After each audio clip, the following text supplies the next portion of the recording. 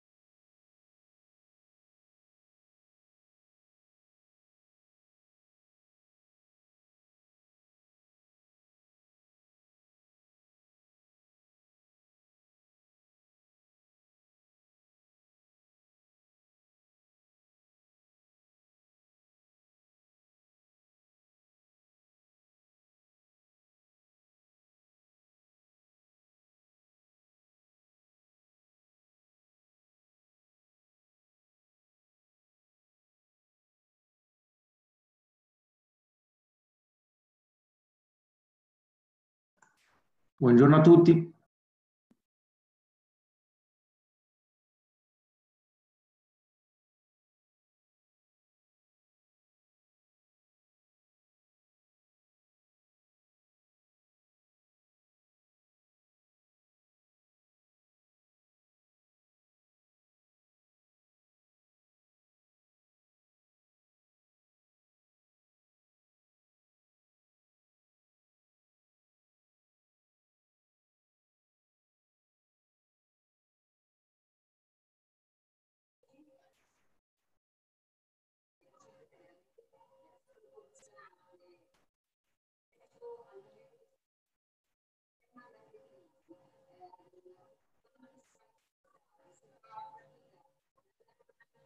Benim senin gerçekten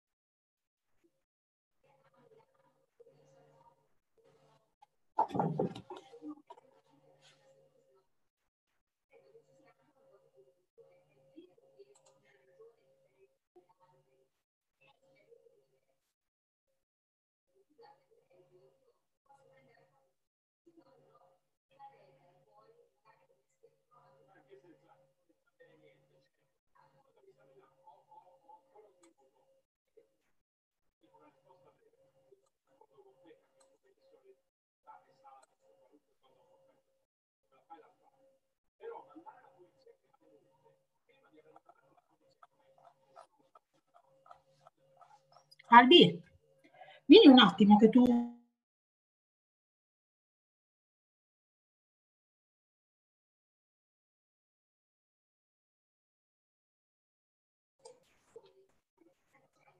così io sì, sì,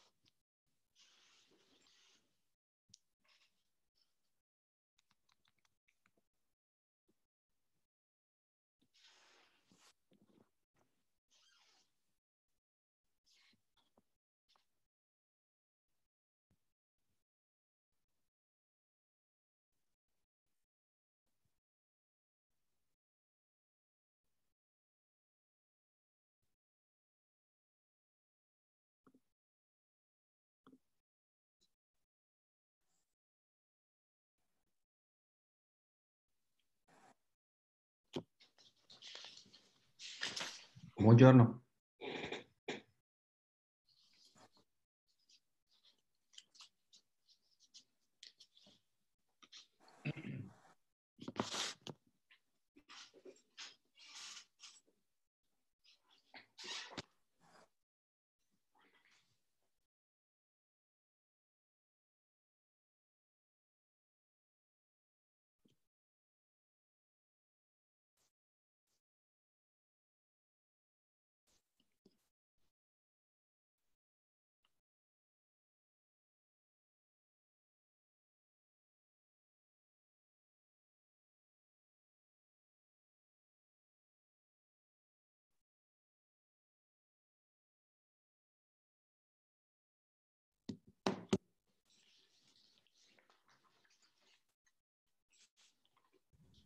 Eccoci.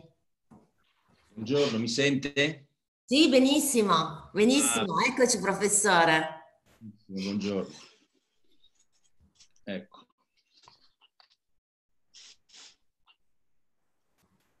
Buongiorno a tutti, vedo che si stanno, stanno collegando tutti i partecipanti all'incontro.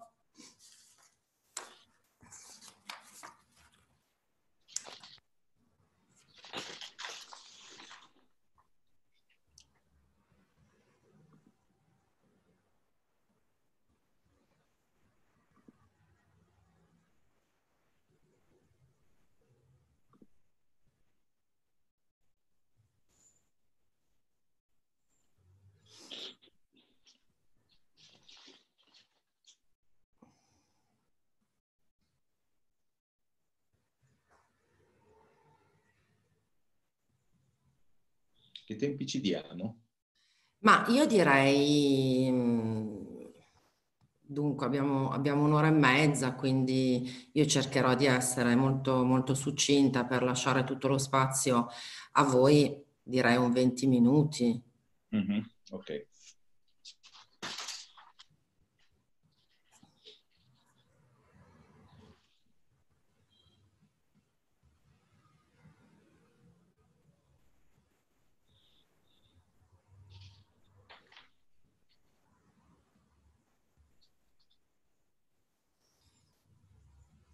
Lei vede la schermata, professore, lei vede la schermata webinar di LGS 231? Sì, sì, sì.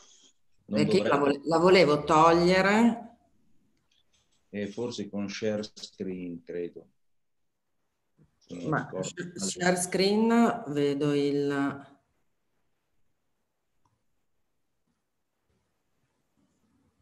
Perché se no resta sempre quella in primo piano. Eh, infatti. No.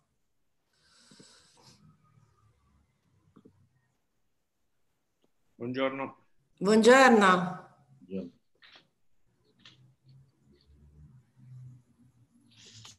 Ora attendiamo gli altri, gli altri relatori. Mm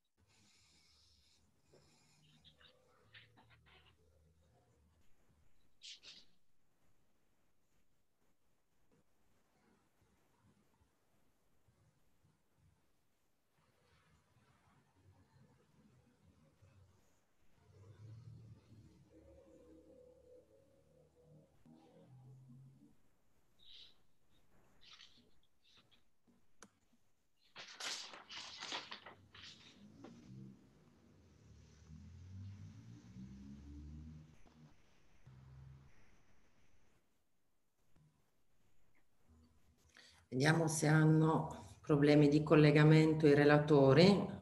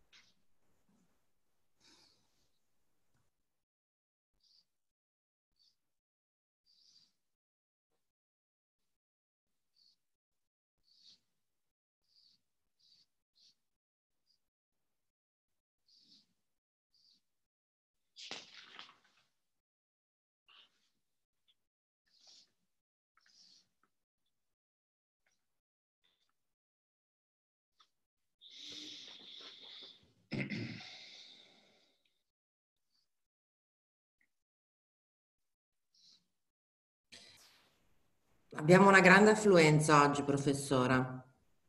Quanti sono? Sono più di 150 iscritti.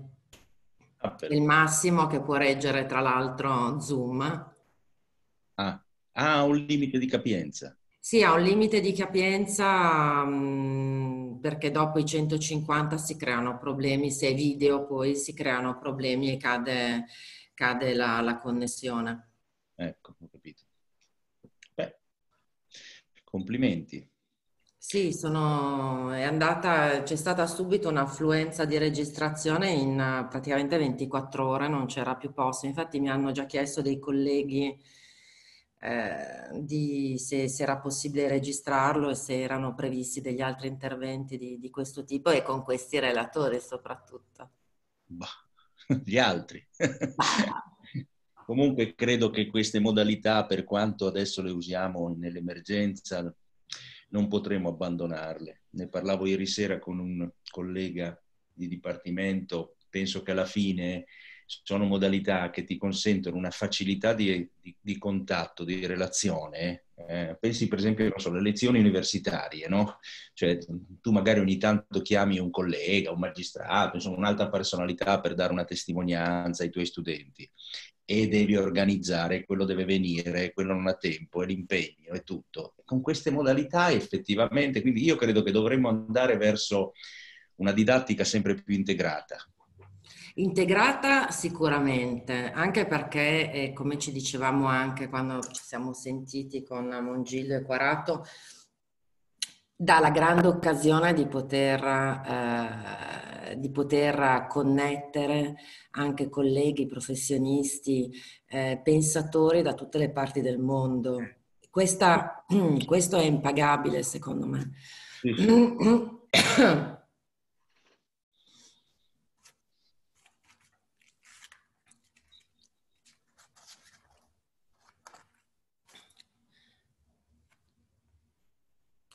Allora, dovrebbe essere intervenuto anche Vincenzo Mongillo, che però non vedo ancora.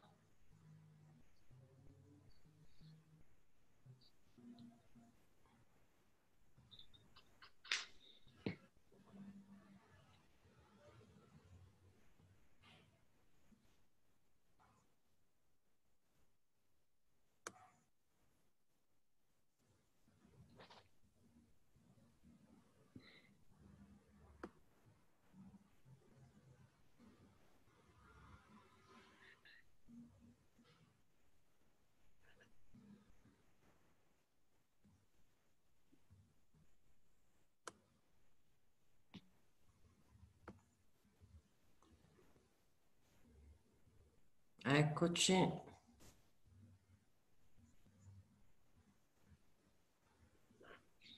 Ah, ecco, è sparito il... Sì, sì. Allora, stavo vedendo se anche Vincenzo e Fabio si sono, sono collegati.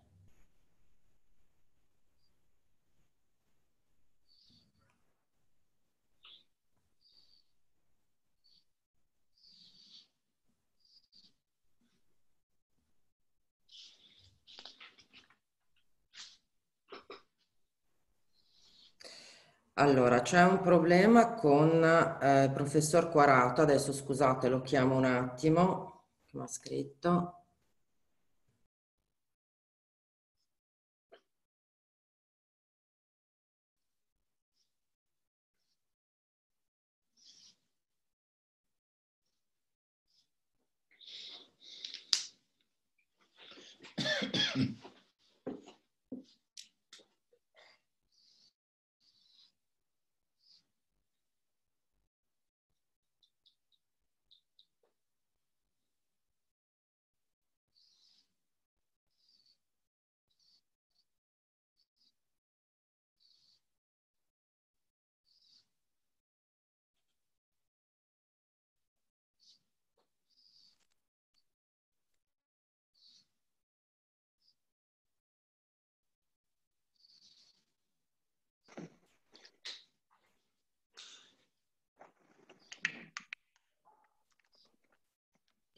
Eccoci, buongiorno a tutti. Allora sono riusciti a collegarsi anche i nostri relatori di, eh, di quest'oggi. Eh, mi sentite tutti? Vincenzo mi sì, senti? Sì, io ti sento. Mi, voi mi sentite? Sì, benissimo. Ok, benissimo. perfetto. Perfetto. Eh, allora, buongiorno. Eh, abbiamo oggi davvero una partecipazione straordinaria a questo, a questo evento e questo comprova come eh, l'interesse eh, sia, sia, vivo per un momento davvero storico eccezionale che sta mettendo a dura prova eh, tutti i sistemi costituiti, quello giuridico, quello economico, quello sociale e anche quello scientifico. Sistemi che oggi eh, più che mai richiedono una riflessione comune, forse lo vedremo nella eh, nel, nel, corso di questo, di questo, evento, forse un ripensamento eh, comune. E allora devo veramente ringraziare il nostro ordine e eh, la commissione di formazione che ha accolto con entusiasmo i temi scottanti che andremo ad affrontare, eh, ma anche e soprattutto la chiave interdisciplinare scelta. Dobbiamo dire che la convulsa decretazione d'urgenza di regolamenti, di linee guida sia istituzionali che delle associazioni di eh, categoria rendono imprescindibile esplorare quelli che sono degli aspetti eh, cruciali che incidono direttamente non solo sulla responsabilità penale dell'individuo, ma anche e soprattutto sulla responsabilità discendente dal reato degli enti eh, collettivi che forse incidono direttamente oggi più che mai sulla DNA dei sistemi 231, sui sistemi di eh, compliance. Quali procedure e regole di condotta l'impresa deve adottare per eh, prevenire il rischio reato non solo in materia di sicurezza sul lavoro, ma anche rispetto ad altri fenomeni, dalla corruzione ai reati informatici, ai cybercrime, alla frode in commercio, ai reati tributari, ai reati di natura corruttiva.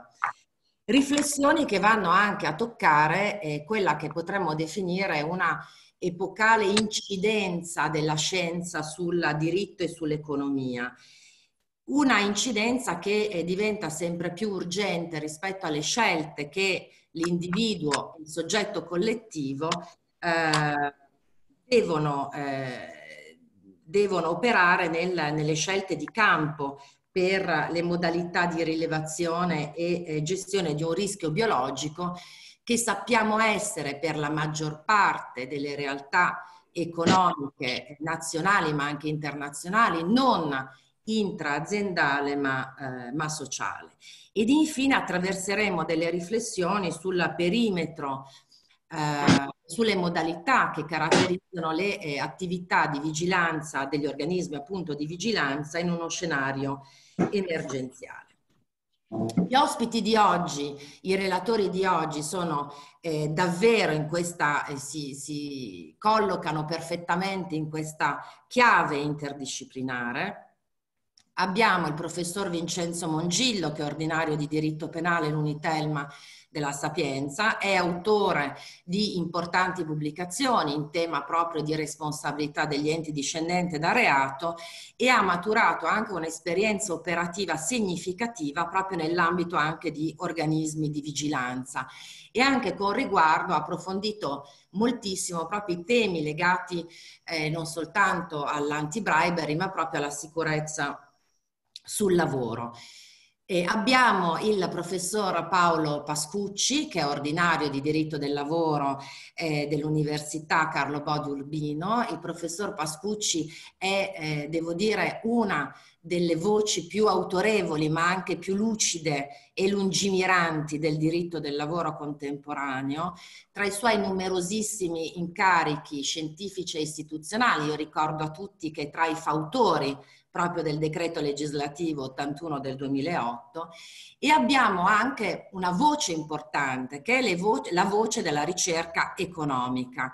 Il professor Fabio Quarato che è del Dipartimento Management della eh, Bocconi fa parte oltretutto di una, eh, della cattedra che è la cattedra eh, IDAF, EY, Chair eh, del Strategic Manage Management in Family Business eh, dell'Università Bocconi, è autore insieme al, al professor eh, Amore e eh, altri collaboratori di una ricerca straordinaria che oggi vi illustrerà, e cioè una delle prime ricerche fatte sul campo dell'imprenditoria nazionale per comprendere le reazioni delle aziende al Covid-19, quindi la tenuta del tessuto economico italiano a questa pandemia.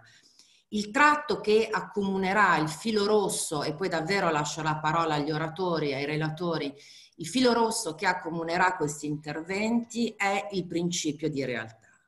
Muoveremo infatti dal dato proprio economico, dall'osservazione economica, per comprendere come questa realtà sta incidendo sui sistemi giuridici, non soltanto eh, prettamente giuslavoristici, ma anche e soprattutto di, eh, di compliance. Lascio quindi subito la parola al professor Quarato.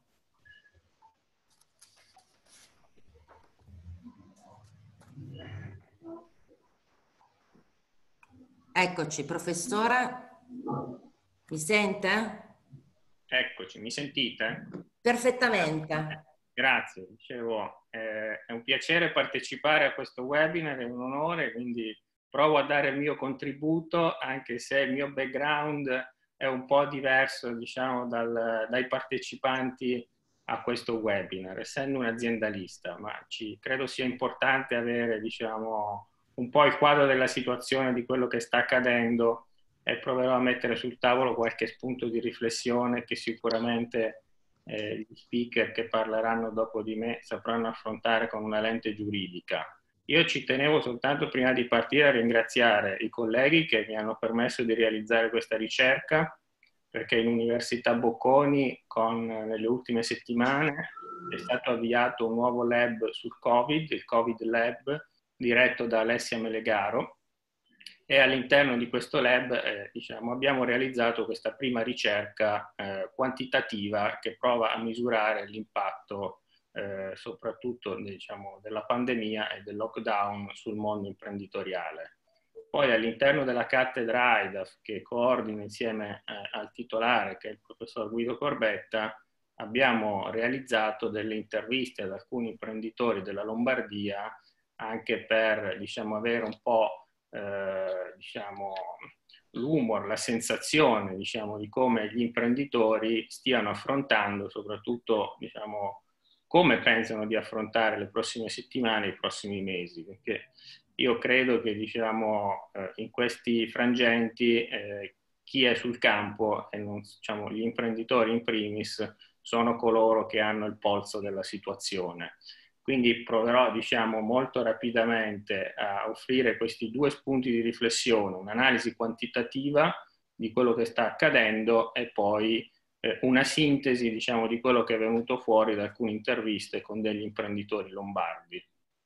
Non so se ci sia la possibilità di proiettare eh, qualche slide, altrimenti diciamo, provo a sintetizzare io quei due numeri, diciamo, soprattutto per la prima parte della ricerca, che partono da eh, uno scenario di partenza con dei numeri che ormai nel mondo attuale diciamo, cominciamo a sentire tutti, la borsa ha perso più del 25%, le previsioni di caduta del PIL nel nostro paese parlano più o meno di un meno 9, meno 10%, quindi uno scenario che sembrerebbe di dimensioni molto più critico rispetto alla crisi del 2008-2009.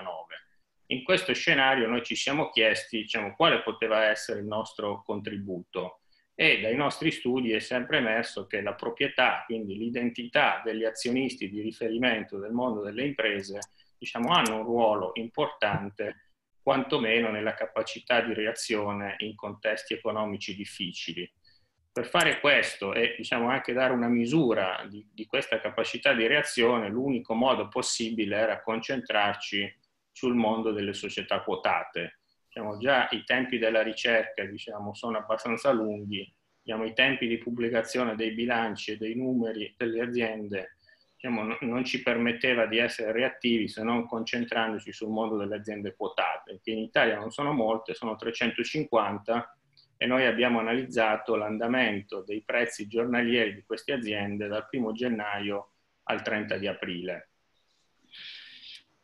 Su eh, diciamo, queste aziende eh, il nostro studio eh, si inserisce in un filone diciamo, in cui negli ultimi dieci anni ci sono state molte ricerche in merito sull'impatto della crisi finanziaria eh, economica del 2008-2009, abbiamo avuto altri studi, ad esempio io ricordo uno studio del, dei colleghi dell'Università Bocconi, l'impatto ad esempio del terremoto dell'Aquila del 2009, ma diciamo studi sulla pandemia sono assolutamente una novità assoluta nel nostro scenario economico.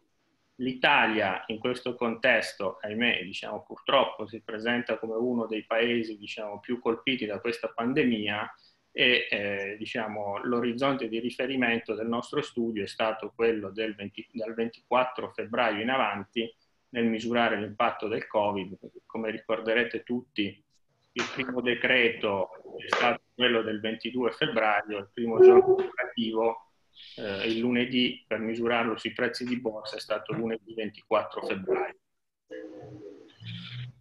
Su queste circa 350 aziende quotate. Siamo andati a verificare l'identità dell'azionista di controllo e, e diciamo, abbiamo visto che circa due terzi di queste imprese quotate in borsa sono controllate da una famiglia imprenditoriale, quindi in cui anche eh, in circa il 50% dei casi a capo alla guida di queste imprese c'è un imprenditore quindi un amministratore. di cosa abbiamo diciamo, eh, verificato con questo studio eh, quantitativo in cui tralascio diciamo, le analisi econometriche, ma nel, mostro, diciamo, nel nostro modo criminalista diciamo, eh, questi studi. Mi scusi, professore, mi scusi professore, io chiederei a tutti però di mettere il muto perché altrimenti eh, ci sono delle incursioni di video di partecipanti che ovviamente il video si attiva nel momento in cui qualcuno di voi eh, fa rumore ecco, nella, nella, stanza. Quindi vi pregherei per, per cortesia di mettere il muto. Mi scusi professore, proceda pure. Si figuri.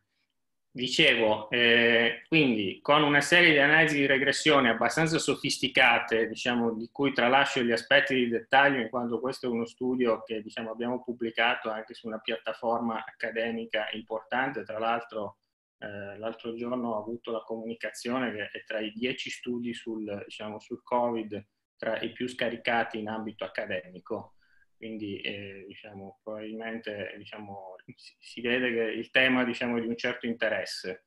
E da questo studio emerge con una serie di analisi che sicuramente l'impatto è stato fortissimo su, sui prezzi di borsa, ma nelle aziende a controllo familiare eh, diciamo, l'impatto è stato un po' attenuato in quanto le aziende familiari hanno avuto una performance media dove ovviamente diciamo, in una media diciamo, c'è chi si comporta sempre molto bene, chi si comporta meno bene, ma le aziende familiari hanno performato circa eh, con una performance di 8 punti percentuali superiori rispetto alle aziende non familiari. Quindi questo ci dà una prima risposta importante in cui l'azionista di riferimento, in questo caso una famiglia, diciamo, probabilmente ha saputo diciamo, mettere in atto una serie di azioni e godere di maggiore fiducia da parte degli investitori sul mercato. E un secondo risultato è, che abbiamo avuto è che le aziende con l'amministratore delegato della famiglia sono quelle diciamo, che hanno saputo reagire meglio a questa crisi. Parlo di reazione perché l'impatto sui prezzi di borsa che abbiamo misurato va, come ricordo prima, dal 24 febbraio al 30 di aprile, perché poi le borse hanno cominciato eh, diciamo, forse anche in modo insolito e strano, eh, diciamo, ad avere un grande recupero per cui diciamo, quei 40 giorni diciamo, sono probabilmente l'orizzonte migliore per misurare proprio lo shock esogeno che si è avuto nel mondo imprenditoriale. Quindi partendo da questo dato quantitativo, diciamo, eh, e anche facendo riferimento ad alcune riflessioni che ci sono in letteratura, ci siamo chiesti diciamo, come mai nel mondo delle aziende familiari, soprattutto quando c'è un imprenditore di riferimento della famiglia, c'è stata una eh, maggiore capacità di reazione alla crisi. Ah, per farla breve, diciamo, in letteratura noi sappiamo che nelle aziende familiari c'è un maggiore attaccamento diciamo, socio-emotivo alla famiglia, ai collaboratori e c'è una collaborazione maggiore con i principali stakeholder. Questo contribuisce a creare un clima organizzativo che probabilmente permette una maggiore flessibilità e un maggiore coordinamento nei momenti di incertezza e diciamo, mette in evidenza quello che eh, ormai molti diciamo, sostengono, ossia che nelle aziende familiari ci sia una certa resilienza, ossia che le aziende familiari siano un pochino più forti nei momenti di difficoltà perché probabilmente hanno anche una visione di lungo periodo in quanto l'azienda è diciamo, un bene da eh, tramandare alle generazioni successive. Su questo concetto di resilienza, poi noi abbiamo, come accennavo prima, instaurato alcune interviste eh, per capire meglio su quali fattori si fonda la resilienza di queste aziende familiari. Chiudo con due riflessioni su questa prima parte dello studio, perché alla luce di questi risultati noi ci siamo chiesti diciamo, qual è l'interpretazione o eh, il, le riflessioni che emergono. Innanzitutto, diciamo, eh, il fatto che per reagire a questa crisi diciamo, ormai è evidente che serva un apporto di equity, quindi di capitale e non di debito. Ed è un tema diciamo, eh, di cui si sente parlare da molto, ma eh, diciamo, nelle, nelle ultime settimane lo scenario è cambiato radicalmente perché fino a qualche settimana fa il tema nel mondo imprenditoriale era distribuzione di dividendi sì o no, Oggi invece diciamo, non si sente più parlare di distribuzione di dividendi perché praticamente tutte le aziende o quasi hanno sospeso la distribuzione dei dividendi, in primis dal mondo bancario, ma anzi nelle ultime settimane, parlando con alcuni imprenditori, si comincia a sentir parlare di aumenti di capitale, quindi cose che devo dire fino a qualche settimana fa erano davvero inimmaginabili. Il secondo tema, e lancio qui uno spunto di riflessione per il proseguo, è che sicuramente diciamo, le aziende eh, possono prepararsi a questo scenario lavorando molto sugli aspetti di governance e sugli aspetti organizzativi per bilanciare ruoli e responsabilità all'interno dell'azienda. La seconda parte della ricerca che vorrei presentare, che è un po' più qualitativa ci permette forse altri spunti di riflessione, è relativo ad alcune interviste che abbiamo fatto a degli imprenditori. Questo è uno studio fatto come cattedra AIDAF insieme alla Camera di Commercio di Milano, eh, i cui risultati verranno pubblicati nel mese di giugno sul volume Milano Produttiva della Camera di Commercio e eh, grazie ad alcuni imprenditori, diciamo, non magari non faccio i nomi perché l'intervista non è ancora pubblica, ma una delle aziende intervistate è il gruppo Feralpi eh, della, di, di, Giuseppe Pasini, che nomino in quanto diciamo, è, è a capo della Confindustria eh, di Brescia ed è una persona che si è esposto molto nelle ultime settimane per, come dire, eh, far presente quali sono anche le esigenze del mondo imprenditoriale in questa fase e a questi imprenditori noi abbiamo chiesto diciamo, alcune domande che sintetizzo da ovviamente come hanno affrontato l'emergenza in queste settimane dal punto di vista sia produttivo che organizzativo e qui forse il maggiore trade union con eh, l'oggetto del, del webinar di oggi, quali sono stati i principali effetti se questa nuova modalità organizzativa, che adesso vedremo in cosa siamo, è consistita, eh, diciamo, è destinata a perdurare o si tornerà, diciamo, magari lentamente, ma ad una normalità eh, nei prossimi mesi e quali sono le prospettive eh, future che loro vedono. Ah, da queste interviste sono emerse una serie di eh, una serie di elementi di riflessioni che io diciamo, provo a sintetizzare, magari ad enfatizzare un pochino diciamo, eh, i due elementi che emergono dal punto di vista eh, dell'impatto organizzativo. la prima cosa è che diciamo, tutti diciamo, gli imprenditori ci hanno confermato che hanno lavorato e in alcuni casi hanno anticipato alcune misure dal punto di vista organizzativo sulla sicurezza nei luoghi di lavoro e misure per eh, assicurare la salute dei propri lavoratori. Quindi tutte queste aziende si sono fatte trovare pronte e in molti casi hanno anche anticipato alcune misure imposte dai protocolli nazionali. Probabilmente parliamo di medie e grandi aziende, sicuramente questo è stato favorito dalla presenza internazionale, alcune operano in Cina, quindi probabilmente hanno già captato diciamo, eh, quello che poteva succedere nelle settimane successive hanno un po' anticipato il fenomeno in Italia. Secondo, il secondo elemento che emerge è quello dell'uso eh, molto molto diffuso dello smart working, in quanto diciamo, ovviamente diciamo, era l'unico modo per continuare ad essere operativi e anche qui è stata emersa, la differenza tra chi aveva fatto degli investimenti per tempo in tecnologia eh, eh, su questo ambito e chi no.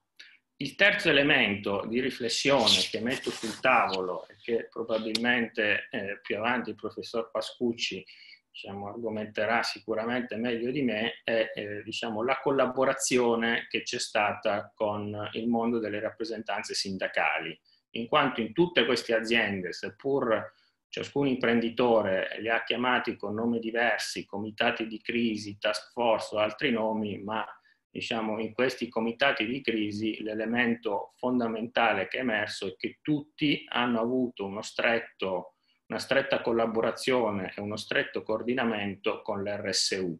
Quindi si sente molto diciamo, parlare eh, diciamo, della collaborazione con il mondo sindacale, ma diciamo, sembrerebbe invece diciamo, a, volte con interessi diciamo, non sempre convergenti, invece nel mondo delle aziende in realtà sembra esserci stata una fortissima collaborazione con le rappresentanze sindacali per trovare il modo migliore, diciamo, le soluzioni più efficaci per garantire la sicurezza sul lavoro e il proseguimento delle attività produttive. Provo a sintetizzare cosa è emerso invece eh, diciamo, alla domanda che vi abbiamo rivolto sull'impatto della crisi. Ecco, io qui spendo magari solo una parola in più perché diciamo, molti esponenti, eh, anche autorevoli, nelle ultime settimane diciamo, si sono eh, dire, lanciati anche in previsioni di eh, eh, curve a U, a V con riprese diciamo, anche molto forti nella seconda parte del 2020, eh, in realtà diciamo, non vorrei sembrare probabilmente troppo ottimista, ma tutti gli imprenditori intervistati che sono sul campo in realtà non sono stati così ottimisti da far eh, diciamo, eh, pensare ad una grande reazione e a un recupero forte nel secondo semestre del 2019, in quanto tutti ci hanno detto che con ogni probabilità sarà necessario tutto il 2021, se non forse anche il 2022, per recuperare eh, il terreno perso e ritornare ai livelli di fine 2019. Poi in realtà probabilmente qualche settore, qualche segnale, come dire, di incertezza e penso all'automotive, lo aveva già lanciato alla fine del 2019, per cui probabilmente diciamo, non è tutto imputabile diciamo, all'impatto della pandemia, ma devo dire che diciamo, il termometro diciamo, della situazione che ha messo dagli imprenditori non è così ottimista come alcune previsioni che nelle ultime settimane ho, ho sentito e sento ancora in giro. Vengo invece alla domanda sui cambiamenti. Ecco, diciamo, avevo accennato prima che tutte le imprese hanno adottato questo, eh, questa modalità di lavoro a distanza dello smart working e una delle domande era se questo, diciamo, questa nuova modalità di lavoro, nuova perché in realtà nonostante se ne parlasse già da, molte, da molto tempo, da molti anni, in realtà erano pochissime le aziende che avevano già implementato lo smart working. Io diciamo, faccio una breve magari excursus, un secondo su questo tema, era uno dei temi sui quali pensavamo di incentrare il, il Family Business Festival di quest'anno che organizziamo con la cattedra Il Corriere della Sera, uno di questi temi era questo e avrebbe, diciamo, uno degli speaker sarebbe stato eh, la dottoressa Candiani di Microsoft Italia, che diciamo, è una delle persone che forse diciamo, più ha creduto nella settimana lavorativa corta. Questo doveva essere uno dei temi del festival. diciamo, oggi diciamo, sono passate solo poche settimane, in realtà il mondo è, è radicalmente cambiato in cui tutte le imprese, diciamo, alcune parlano di eh, mantenere lo smart working, diciamo, anche alla fine di questo momento di difficoltà. Cosa emerge, diciamo, da, da, da queste interviste che abbiamo fatto? È che in realtà alcuni, diciamo, di questi imprenditori eh, non nascondono il fatto che eh, alla fine del momento di difficoltà sarà necessario un ritorno ad una modalità di lavoro più tradizionale o comunque ad un giusto mix tra lavoro in presenza e smart working, perché la sensazione che emerge da parte loro è che si stia perdendo un po' quel senso di condivisione e di eh, coordinamento e quel legame con i lavoratori che probabilmente solo con diciamo, una collaborazione dal vivo è possibile. Quindi diciamo anche qua emergono alcune riflessioni forse un po' in controtendenza rispetto a quello che si sente, ossia che lo smart working sarà diciamo, una modalità destinata a durare anche quando si tornerà alla normalità. Ecco, i imprenditori intervistati in realtà ci fanno presente che forse è, diciamo, c'è, un, c'è un, diciamo, il rischio un, dell'altro eccesso, ecco, che è diciamo, è necessario bilanciare le due modalità di lavoro per non perdere il senso di condivisione e il legame con il mondo dei lavoratori. Vado, magari poi ci sono altri aspetti, magari alla fine del webinar mm, renderemo disponibili le slide e, e diciamo, io provo a concentrarmi solo sulle cose più importanti. E c'era un'ultima eh, riflessione, un ultimo elemento che volevo eh, lanciare, e che emerge dall'ultima domanda che abbiamo posto agli imprenditori, ossia di cosa avrebbero bisogno per, per ripartire. Ah, dal punto di vista come dire, economico, diciamo, tutti quanti con parole diverse hanno fatto presente che oggi è necessario avere delle chiare politiche a sostegno della domanda per far ripartire i consumi. Diciamo, questo è abbastanza comprensibile. L'altro invece elemento che tutti hanno posto è la necessità di una minore burocrazia per snellire l'implementazione di nuovi progetti. Quindi forse questo è uno degli elementi più interessanti che lascio sul tavolo perché diciamo, l'altra faccia della medaglia di una minore burocrazia è che diciamo, comunque c'è una necessità dal punto di vista giuridico e regolamentare di assicurare prevenzione e sicurezza sul lavoro e diciamo, avere questa sicurezza e, eh, eh, dal punto di vista regolamentativo non sempre eh, come dire, va di pari passo con la rapidità e con la velocità di implementare alcune misure. Quindi probabilmente oggi diciamo, una delle sfide più importanti che emerge e che gli imprenditori diciamo, ci hanno come dire, indicato con molta forza è proprio questa, perché diciamo, eh, alcune misure giuridiche diciamo, di sicurezza che ci devono essere ovviamente, che sono fondamentali, diciamo, in questa fase diciamo, eh, diciamo, hanno dei tempi che, che, che non collimano con la velocità di reazione che il mondo delle imprese devono avere per reagire alla, alla, a, questa, a questa crisi che c'è in atto. Quindi io credo che volendo sintetizzare e concentrarci sui due elementi diciamo, che lascio sul tavolo i due relatori successivi siano sicuramente il forte spirito collaborativo che anche con le rappresentanze sindacali nel mondo delle aziende e due come sia possibile dal punto di vista normativo eh, assicurare eh, la sicurezza e la prevenzione con una maggiore capacità di reazione all'interno delle aziende. Grazie, grazie molte professor Quarato, è una ricerca davvero eh, straordinaria per l'interesse che, che suscita e che consente a noi giuristi di cogliere appieno quelli che sono non solo le problematiche economiche, ma soprattutto le modalità di reazione delle aziende rispetto alla esigibilità del sistema penale di, del sistema penale di una corretta compliance. E in effetti le questioni, i dati appunto di realtà che emergono dalla vostra ricerca eh, ci danno grandi spunti di riflessione. Prima di dare la parola al professor Pascucci mi viene in mente, e questo, poi su questo tornerà magari il eh, professor Mongillo attraverso proprio il prisma penalistico di, di analisi di questi dati e che eh, sono proprio quelle aziende, perché a stampo familiare, eh, che, hanno, eh, che hanno reagito più positivamente, più tempestivamente all'adozione di misure precauzionali a tutela della propria comunità lavorativa, che sembrano essere un po' in contrasto con quelli che sono i principi cardine dei sistemi 231. Pensa ad esempio, prima fra tutti, la segregation of duties.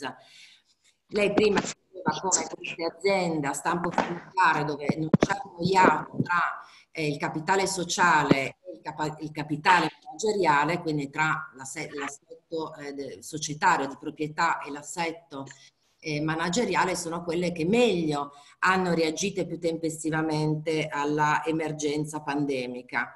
E quindi sono quelle realtà dove eh, la segregation of duties non rappresenta esattamente, come dire, la carta d'identità eh, in termini di compliance di queste aziende.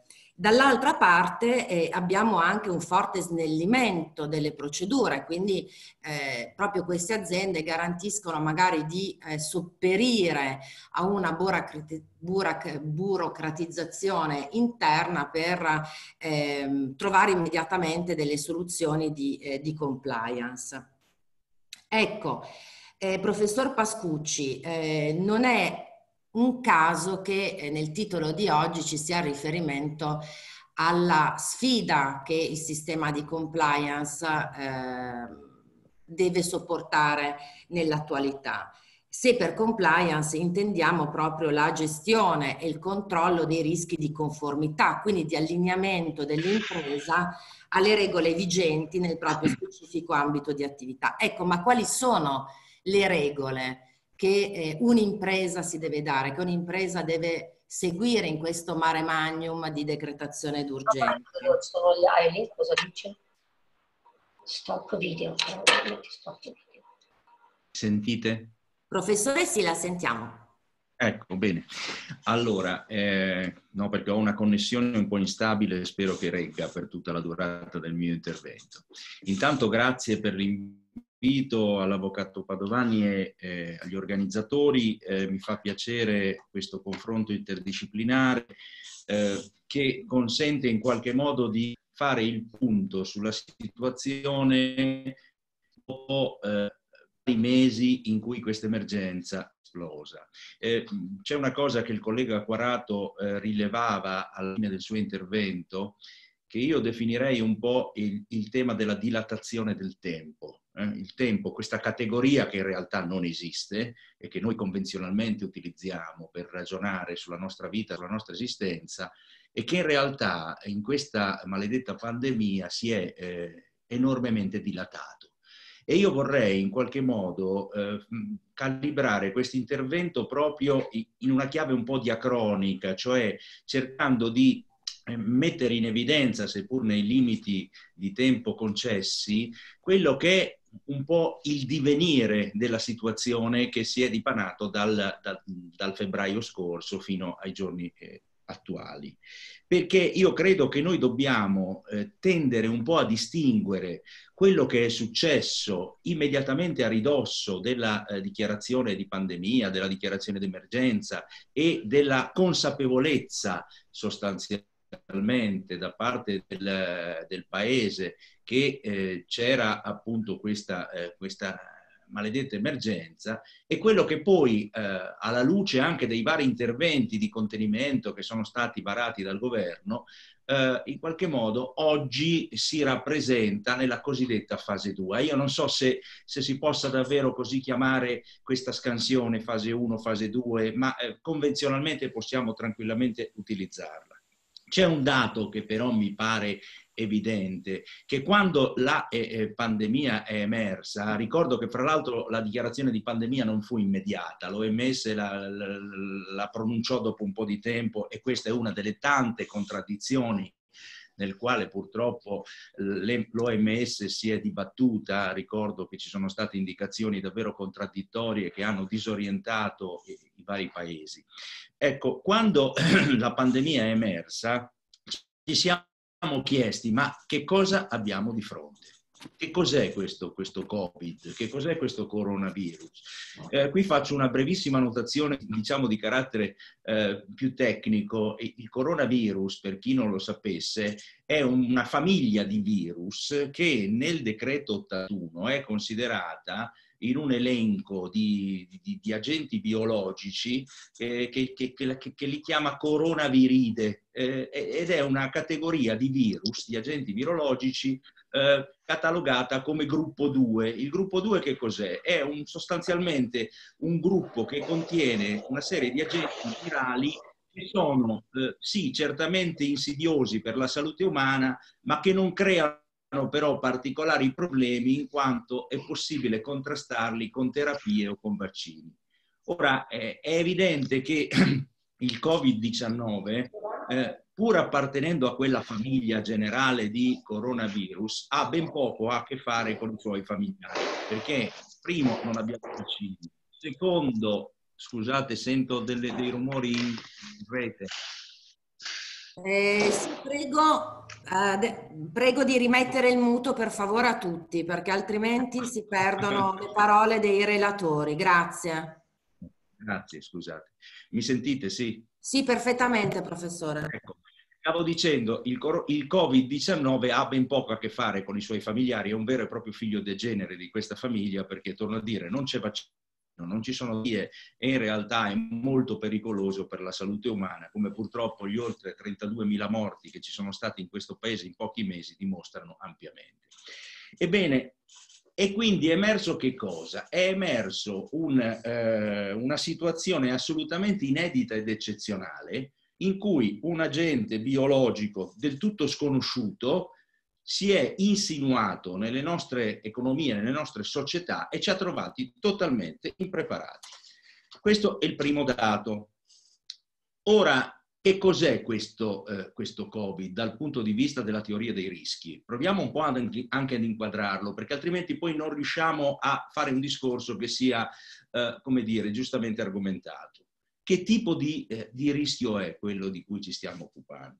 Allora, il protocollo del 14 marzo e ora del 20, aggiornato il 24 aprile lo dice testualmente, è un rischio biologico generico per il quale occorre adottare misure uguali per tutta la popolazione. Questa è la frase lapidaria che c'è nel protocollo. Ricordo che quel protocollo sottoscritto dalle parti sociali e dal governo è stato sussunto in atti aventi forza di legge e piaccia o meno ha comunque efficacia e validità normativa, quindi non è più un atto negoziale come originariamente era nel momento della sua sottoscrizione, ma è stato ormai sussunto nell'ordinamento statuale come fonte di regolazione della materia. In realtà però quella definizione di rischio generico non contraddice il fatto che eh, questo rischio possa essere invece specifico in quelle organizzazioni, private o pubbliche che siano, in cui gli agenti biologici siano, per così dire, all'ordine del giorno, cioè in quelle organizzazioni alle quali si applica il titolo decimo del decreto 81 del 2008, che è il titolo che contiene tutte le disposizioni precauzionali in materia di agenti biologici. Quindi, per esempio, un'organizzazione sanitaria, un'organizzazione sanitaria, un ospedale, eccetera, Ovviamente è un'organizzazione nel quale il rischio Covid è un rischio specifico, è un rischio specifico professionale.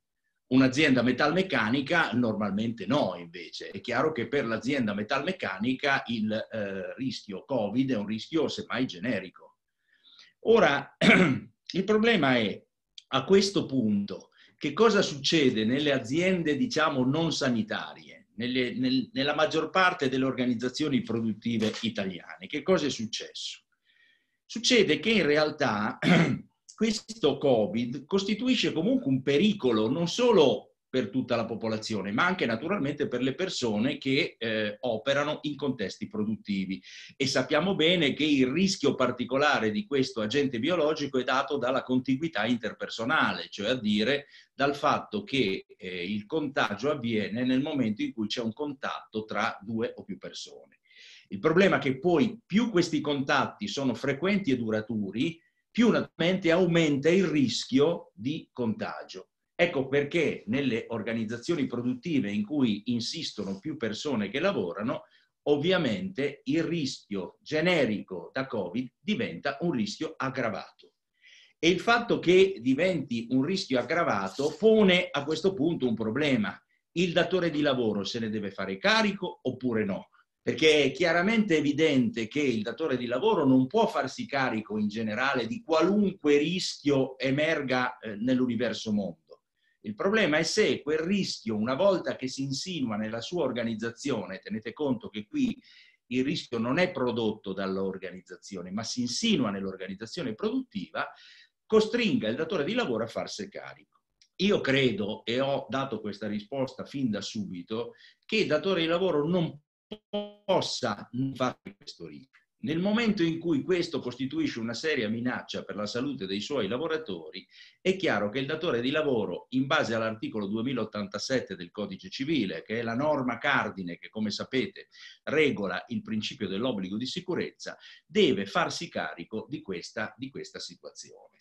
Ora, l'articolo 2087, poi su questa norma tornerò eh, più avanti, è una norma che, come è noto, oltre ad essere molto antica, ma anche molto attuale, presenta una caratteristica che ha un perimetro tendenzialmente molto elastico. Come è noto, la giurisprudenza l'ha sempre interpretata secondo il principio della massima sicurezza tecnologicamente possibile, che porta in qualche modo ad ampliare il confine del, dell'obbligo, del debito di sicurezza del datore di lavoro, portandolo sostanzialmente spesso anche eh, a situazioni non facilmente prevedibili. Ora, il problema qual è? A questo punto, se noi chiamiamo in causa il 2087 per gestire il rischio Covid nei luoghi di lavoro, che cosa significa? Che il datore di lavoro ha un obbligo infinito, che questo perimetro elastico del 2087 anche in questo caso è assolutamente, per così dire, smisurato, oppure dobbiamo in qualche maniera mettere un punto fermo?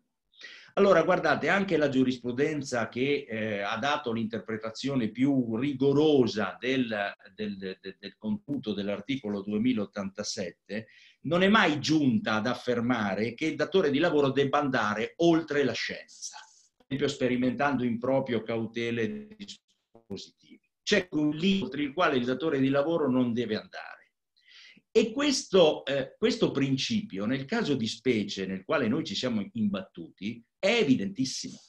È evidentissimo. Ora, vi faccio notare che, fra l'altro, quando il protocollo eh, evoca misure uguali per tutta la popolazione, questo non significa che le misure di contenimento per il singolo cittadino durante il lockdown fossero le stesse misure di contenimento che erano state previste nel protocollo per le aziende, i lavoratori, eccetera. Significa piuttosto che in realtà, al di là della loro specificità delle varie misure di contenimento previste nei vari DPCM, dovendo contrastare una minaccia globale per la salute pubblica, non potevano non essere individuate a monte da chi era preposto a tutelare la salute pubblica sulla base di una valutazione di questo nuovo rischio non parcellizzata, bensì riferita al contesto generale. Non dobbiamo mai dimenticarci che questo è un rischio pandemico universale che riguarda tutti, a prescindere dai contesti in cui le persone si trovano. Spesso può essere più pericoloso viaggiare su una metropolitana o su un autobus piuttosto che stare in un luogo di lavoro. Non lo sappiamo, cioè in realtà questo è un dato evidentissimo. Ora, eh, che cosa è successo? Che l'autorità pubblica senza di fatto esautorare totalmente il ruolo del datore di lavoro come capo dell'impresa. Qui c'è l'articolo 2086 del codice civile che non a caso viene immediatamente prima del 2087. Il 2087 è strettamente connesso al 2086. Senza esautorare questa posizione primaria di primazia del datore di lavoro, L'autorità pubblica però ha a monte deciso che sostanzialmente questo è un rischio che bisognava in qualche modo considerare e ha imposto essa stessa o direttamente o mediante atti delegati, i protocolli appunto, misure di precauzione da adottare. Questo è quello che è accaduto. Quindi l'obbligo di sicurezza del 2087 che incombe comunque sul datore di lavoro è divenuto uno strumento della strategia nazionale contro la pandemia. Non a caso le violazioni del protocollo sono state assoggettate a speciali sanzioni amministrative eh, che sono erogate dal prefetto per la trasgressione di tutte le misure di contenimento, il quale si avvale fra l'altro di una vigilanza speciale, non consueto, forze di polizia, forze armate, eccetera. Ne è emersa in qualche modo quella che io definirei la dimensione bifronte del diritto alla salute dell'articolo 32 della Costituzione, come diritto individuale, ma anche come interesse della collettività, perché quelle misure di contenimento, attenzione, tutelano sia i lavoratori sia chiunque venga con loro a contatto.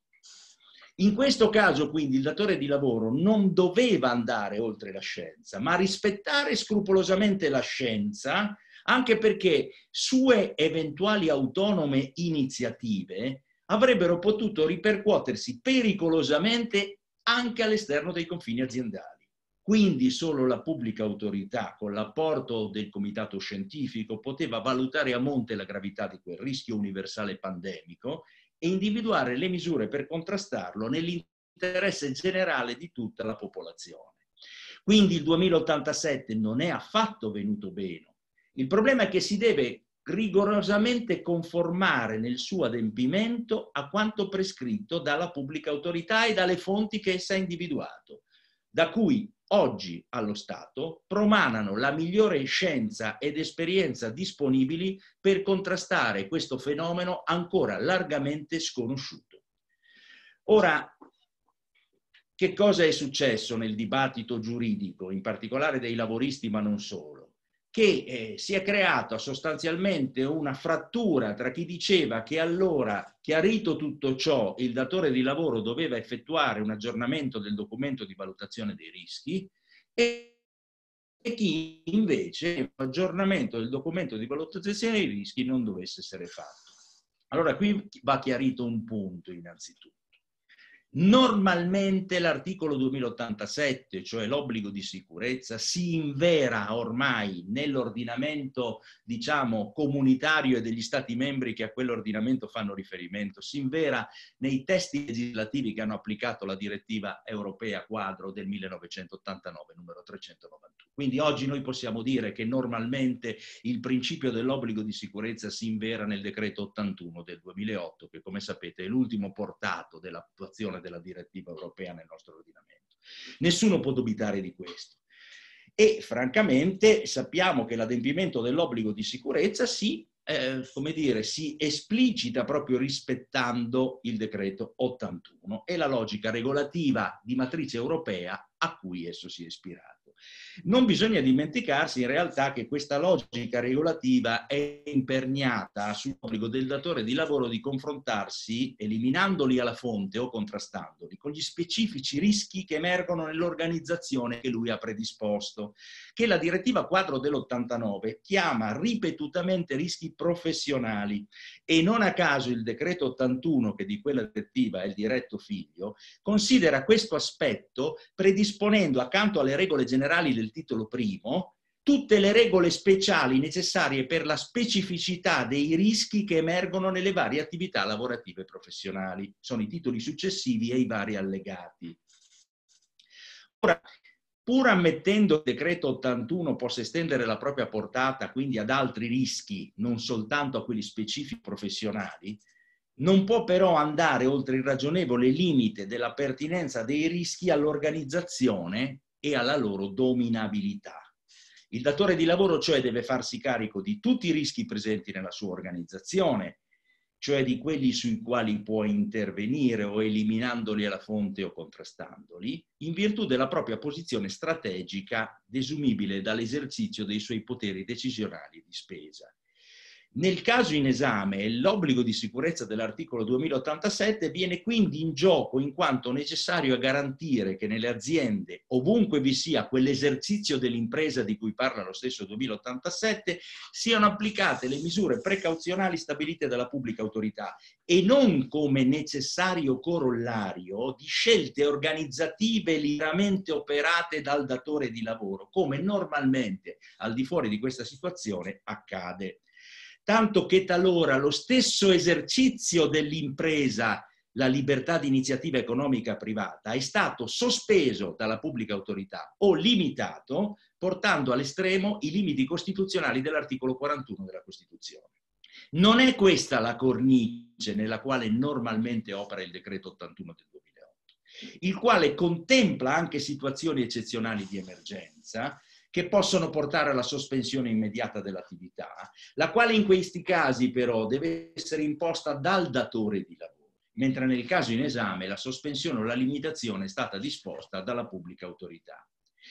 C'è poi un altro aspetto che va considerato, cioè a dire la valutazione dei rischi costituisce un obbligo indelegabile del datore di lavoro come responsabile dell'organizzazione e presuppone che il datore possa valutare tutti i rischi insiti nella sua organizzazione purché sia ragionevolmente possibile valutarli in quanto conosciuti, conoscibili, prevedibili e dominabili. Diversamente saremmo di fronte ad un'obbligazione impossibile o distonica rispetto agli scopi che la valutazione dei rischi si prefigge. Ora, se normalmente il principio cardine della prevenzione primaria predicato dalla direttiva europea dell'89 cioè l'eliminazione dei rischi alla fonte, può essere di norma rispettato predisponendo l'organizzazione in modo da espungere il fattore di rischio, nel caso in esame, l'unico modo per eliminare certamente il rischio alla fonte sarebbe stato quello di eliminare l'organizzazione, sospendendone totalmente il funzionamento. Conseguenza che, badate, il protocollo, fra l'altro, continua a prevedere qualora non si, non si garantiscano le misure di precauzione.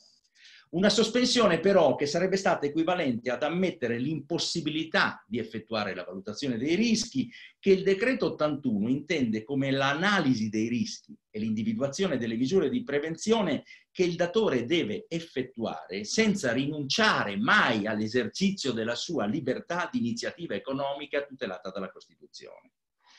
Quanto poi all'aggiornamento della valutazione dei rischi, che è regolato nel decreto 81 dall'articolo 29,3, fermo restando che naturalmente anche questa è una norma di natura penale, assistita da sanzioni penali e quindi soggetta a stretta interpretazione, Qui bisogna fare una precisazione. Le misure anticontagio previste dai protocolli prima ancora di tradursi in misure organizzative, sono prima ancora logicamente misure di precauzione. Lo stesso smart working, che è diventato, come diceva giustamente Quarato, una delle misure più, eh, come dire, utilizzate, qui è inteso innanzitutto come misura precauzionale. L'applicazione di queste misure di precauzione, naturalmente, nell'azienda, può dar luogo naturalmente a che cosa? A modifiche organizzative. Mentre le modifiche organizzative di cui parla l'articolo 29,3 normalmente sono introdotte volontariamente dal datore di lavoro, qui invece sono modifiche organizzative che sono la conseguenza dell'introduzione di misure, di misure precauzionali che derivano dall'alto. In sostanza, il decreto 81, l'articolo 29,3 prevede una sequenza di questo tipo. Primo, il datore di lavoro mette in atto modifiche organizzative. Secondo, fa la valutazione dei rischi di conseguenti a queste modifiche organizzative. Terzo, individua le misure di prevenzione. Nel caso Covid, invece, in esito a quella valutazione generale operata dalla pubblica autorità e all'individuazione delle misure di contenimento che la stessa pubblica autorità o le sue fonti delegate posto in essere, il datore di lavoro, avvalendosi, attenzione a questo passaggio che molti trascurano, avvalendosi il comitato del punto 13 del protocollo, questo è un aspetto che spesso tende ad essere misconosciuto Il datore opera qui attraverso anche delle strutture partecipative che sono ben più ampie di quelle che conosciamo nel decreto 81. Prima Quarato ricordava naturalmente il ruolo delle parti sociali e qui sta venendo fuori in maniera molto importante. Ebbene, il datore di lavoro, avvalendosi del comitato, deve applicare e mettere in atto queste nuove misure precauzionali, le quali a loro volta potranno ovviamente comportare modifiche organizzative. Ora, una sequenza generale fa pubblica autorità e la sua imposizione delle misure precauzionali. Due, l'applicazione di queste misure nell'organizzazione da parte del datore di lavoro con l'apporto del comitato. Tre, l'eventuale modifica dell'organizzazione aziendale allo scopo di tutela. Allora, adesso è chiaro in cui misure organizzative conseguenti all'introduzione delle misure precauzionali facciano emergere nuovi rischi nell'organizzazione, perché è indubbio che io andando a modificare l'organizzazione possono insorgere nuovi rischi rispetto all'assetto dei rischi che avevo preventivamente valutato all'atto della costituzione di impresa o successivamente, è chiaro che a questo punto sorge indubitabilmente di aggiornare il documento di valutazione dei rischi. Per questi rischi che però, attenzione, non sono rischi biologici, non è una valutazione del rischio biologico che presupporrebbe il rispetto dell'articolo 271 del decreto 81, perché la valutazione del rischio biologico può essere fatta solo alla luce dell'articolo 271 del titolo decimo del decreto 81. È piuttosto la valutazione di rischi che sono connessi alla modifica organizzativa e quindi c'è una logica distinzione da questo punto di vista. Quindi io non ho mai negato che il datore di lavoro debba aggiornare il documento di valutazione dei rischi, ma lo fa in base alle modifiche organizzative e non alla valutazione di un rischio biologico che al di fuori delle aziende sanitarie dove i rischi biologici sono ontologicamente presenti, in realtà non potrebbe pure fare e dove spesso potrebbe la disponibilità di poterla fare, perché non dimenticatevi che non in tutte le aziende, ad esempio, è nominato il medico competente. E quindi come faresti a fare una valutazione di un rischio biologico senza la presenza di un medico competente? Non a caso nel decreto rilancio, ai fini della sorveglianza speciale da Covid, Covid che è stata introdotta, è previsto che nelle aziende dove non c'è un medico competente si possa sopperire con l'apporto di medici competenti pubblici, diciamo così, che vengono da altri istituti, che però vengono tenuti sostanzialmente fuori da qualsiasi discorso con l'articolo 25 quindi non viene in gioco il tema della collaborazione alla valutazione del rischio. Quindi ecco, spero di essere stato chiaro, ci tenevo a distinguere questi due aspetti, questi due piani. Ora, qualche riferimento all'attualità, perché io credo che tutto questo abbia riguardato la prima fase, la fase in cui ci siamo trovati questo mostro che non sapevamo come contrastare e la domanda era come fa il datore di lavoro a porsi rispetto a questo mostro. Secondo me il principio era 2087, applicazione integrale delle normative di contenimento previste dalla pubblica autorità e dai protocolli, questo è il modo per adempiere l'obbligo di sicurezza. Poi è chiaro che nel momento in cui si esce da questa situazione primordiale di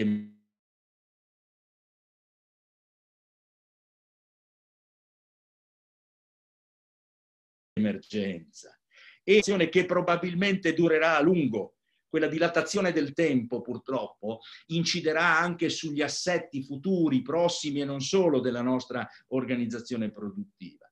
Allora è evidente che qui bisognerà mettere in campo una serie di misure, una serie di misure organizzative e una riorganizzazione complessiva che naturalmente prevederà come ho già detto prima, naturalmente anche una riconsiderazione di tutta la valutazione dei rischi, perché è chiaro che queste misure precauzionali, una volta introdotte in azienda, faranno emergere probabilmente nuovi rischi. In ogni caso, se ci saranno, si dovranno valutare, su questo non c'è dubbio alcuno.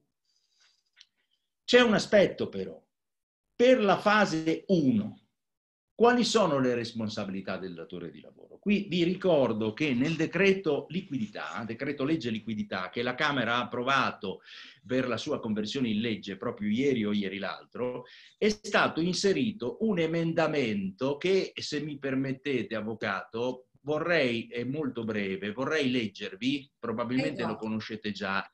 Eh? Prego, professore, prego, prego.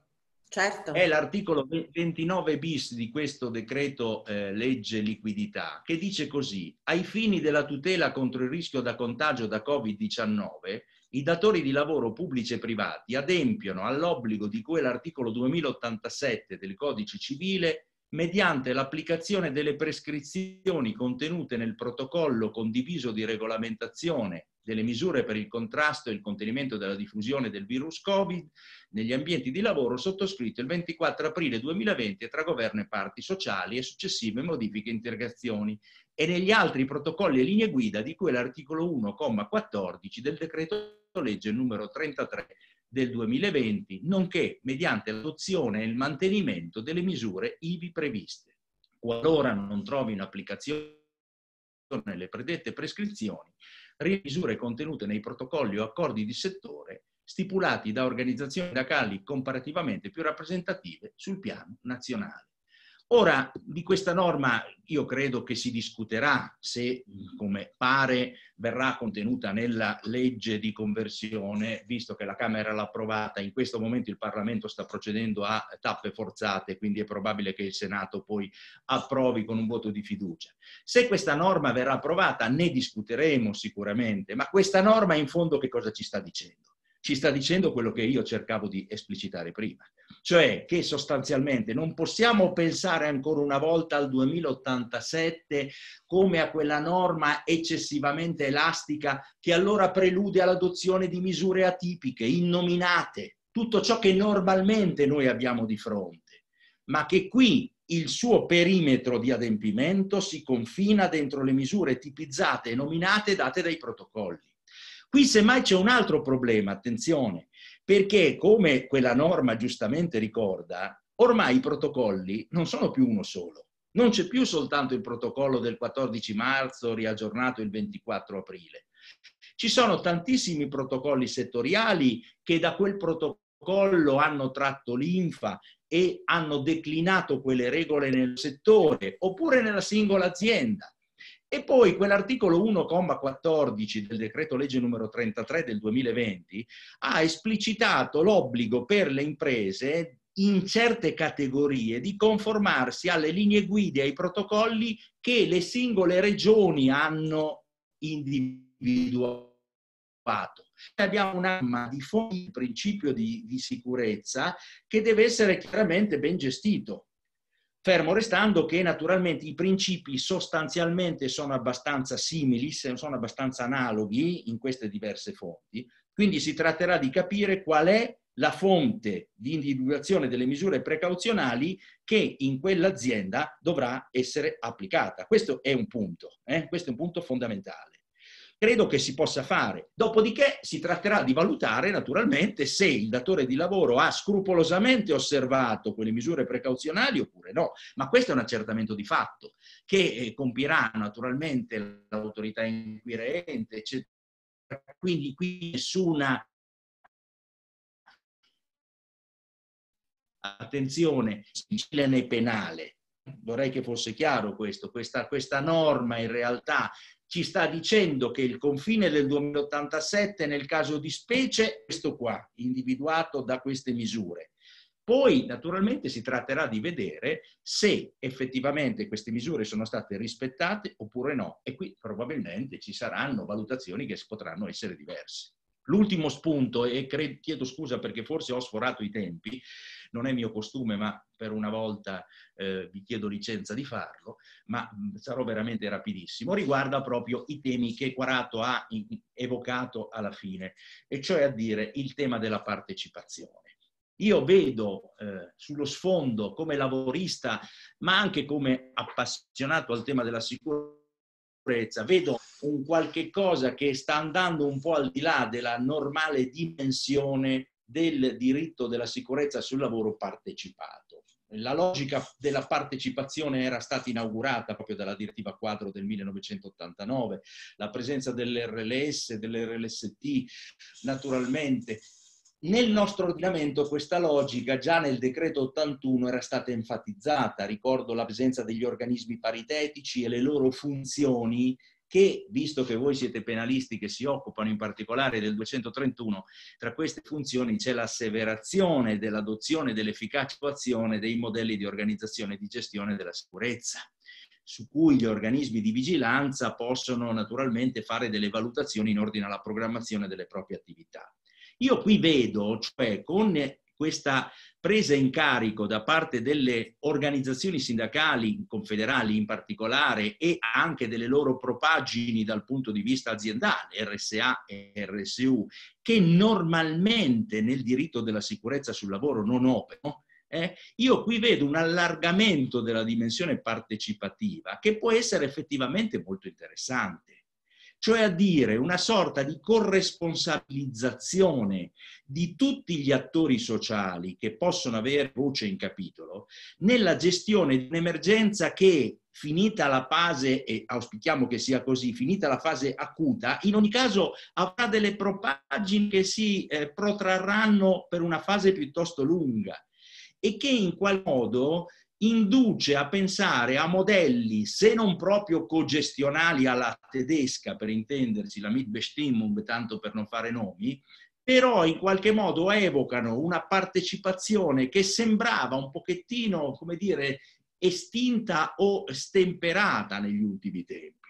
Cioè, eh, questo è un aspetto dal punto di vista anche del, dell'assetto delle relazioni industriali particolarmente interessante. E c'è poi un altro aspetto che riguarda più propriamente il tema 231. Io non sono un perista e, e, quindi chiaramente riguardo il tema dal punto di vista del lavorista che si occupa di sicurezza. Qui c'è il tema se i modelli di organizzazione e di gestione credo che Vincenzo Mongillo poi ne parlerà sicuramente, anzi ne sono più che certo, se i, i modelli di organizzazione e di gestione che sono eh, sostanzialmente stati adottati debbano essere in qualche modo adattati di fronte a questa nuova emergenza. Il modello in sé per sé, che cos'è? È un insieme di procedure tendenzialmente è un insieme di procedure che fa leva sostanzialmente sulla presenza di alcuni elementi fondamentali, l'organismo di vigilanza, naturalmente la sua indipendenza, la sua possibilità di vigilare l'attuazione del modello e che si, che, che si, estrinseca attraverso poi un sistema di gestione sostanzialmente, quasi una sorta di cerchi concentrici, un sistema di gestione su cui si realizza poi questo modello di organizzazione. Ebbene, io credo che il modello di per sé, il funzionamento delle relazioni, del funzionamento dell'organo di vigilanza possa essere, se ben attuato, direi perfettamente idoneo per rispondere a questa nuova emergenza. Tutto sta a vedere se le procedure tecniche che in qualche modo sono presenti nel modello, dal punto di vista della tutela della salute e sicurezza, siano idonee per rispondere alle nuove esigenze che in qualche modo questa, eh, questa situazione ha fatto emergere. Quindi semmai una verifica di questo credo che tutto sommato potrebbe essere utile, cioè andare a vedere nel concreto se il singolo modello effettivamente è capace di rispondere, di fotografare, di tracciare bene tutto quello che sta avvenendo nella gestione dell'emergenza. Non dimentichiamoci mai che il modello è soprattutto uno strumento di tracciabilità degli adempimenti. A cosa mi serve un modello? Ho già le sanzioni, ho già le, le prescrizioni individuali dell'81. Il modello è un metodo per adempiere al meglio quegli adempimenti. E allora devo verificare se queste procedure siano tali da saper rispondere, secondo me, in maniera più idonea possibile a quella che è in qualche modo la nuova, la nuova situazione nella quale le imprese si vengono a trovare. Questo è un aspetto, credo, importante e da questo punto di vista, allora, attenzione, quel tema della partecipazione che richiamavo poc'anzi diventa ancora una volta importante perché nei modelli di organizzazione e di gestione un ruolo fondamentale ce l'hanno sostanzialmente anche i soggetti con cui interloquisce il management aziendale, l'alta direzione. quindi il ruolo dell'RLS e da questo punto di vista probabilmente anche il ruolo di questi nuovi interlocutori sindacali. Cioè se c'è questa corresponsabilizzazione, forse bisognerebbe pensare, e questo però è un discorso per così dire di prospettiva, a un maggior coinvolgimento di tutti gli attori nella condivisione di questo modello. C'è per ultima cosa un aspetto. I modelli, come sapete, stanno fuori dal settore pubblico. Questo secondo me è un gravissimo problema. E guardate, lo abbiamo visto e gronda lacrime, sudore e sangue, credo che siano stati più di 130 i morti tra medici e infermieri nell'emergenza Covid. Le aziende sanitarie sono pubbliche amministrazioni ai sensi dell'articolo 2 del decreto legislativo 165 del 2001. È pubblico impiego, ancorché privatizzato. Però sono pubbliche amministrazioni che funzionano con logiche manageriali, non a caso si chiamano aziende Ora io chiedo come è possibile che nel 2020 un'azienda sanitaria pubblica non si debba dotare di un modello di organizzazione e di gestione della sicurezza, tenendo conto, fra l'altro, badate, che le aziende sanitarie ospedaliere sono sostanzialmente le organizzazioni in cui tu trovi il catalogo più ricco di rischi che si possa immaginare. È ancora possibile pensare a questo? È chiaro che io non sto postulando nessuna applicazione del 231 alle amministrazioni pubbliche, lungi da me una sciocchezza di questo tipo, attenzione. Sto solo dicendo un'altra cosa. Proviamo a individuare degli incentivi, così come l'abbiamo individuati nel settore privato, nel collegamento tra l'articolo 30 e il decreto 231, per far sì che anche le amministrazioni pubbliche, in particolare quelle a dimensione aziendalistica, siano incentivate ad adottare modelli di gestione e di organizzazione della salute e sicurezza, che poi, come diceva giustamente l'avvocato Padovani all'inizio, riguarderanno poi anche altre tematiche, perché i reati presupposti ormai nel catalogo del 231 sono talmente tanti, per cui sarebbe utile anche da quel punto di vista. Mi fermo qui e mi scuso un po' per avere sforato i tempi. Grazie professore, grazie non si deve scusare, anzi il suo è stato un intervento mirabile perché ci riporta con lucidità ad un approccio rigoroso, giuridico e scientifico alla, al tema della valutazione del rischio che è veramente il predicato, la, la, colonna portante, lo scheletro di tutti i modelli organizzativi, di tutti i sistemi 231.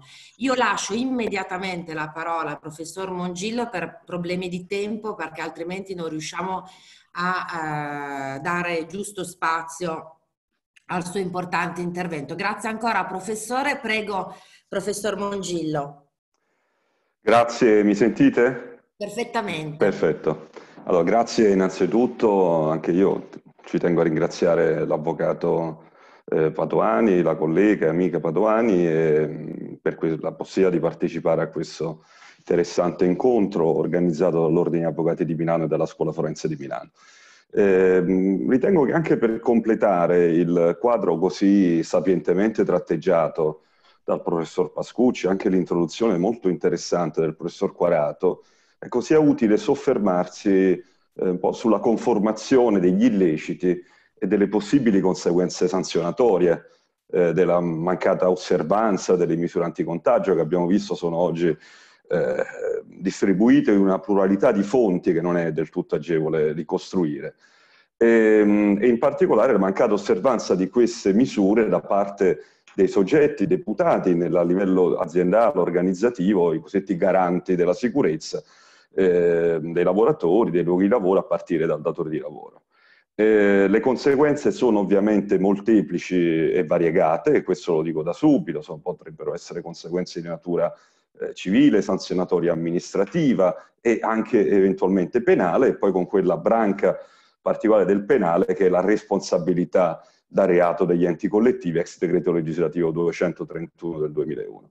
Chiaramente questo è un tema che rileva molto anche dal, dalla, dalla, prospettiva di un organismo di vigilanza costituito ai sensi del decreto legislativo 231 all'interno di un'azienda, eh, chiaramente non tutti gli illeciti entrano nel prisma della vigilanza dell'organismo, però abbiamo sicuramente alcuni illeciti in materia di infortuni, malattie professionali. Sappiamo l'articolo 25 septies del decreto legislativo 231 del 2001, introdotto nel 2007 e modificato nel 2008 col decreto legislativo 81, prevede la responsabilità dell'ente collettivo eh, anche per la mh, commissione dell'interesse o vantaggio dell'ente, in presenza di tutti i requisiti previsti dal decreto 231, di reati come l'omicidio colposo, le lesioni colpose gravi o gravissime commesse in violazione di norme a tutela della salute e sicurezza dei lavoratori.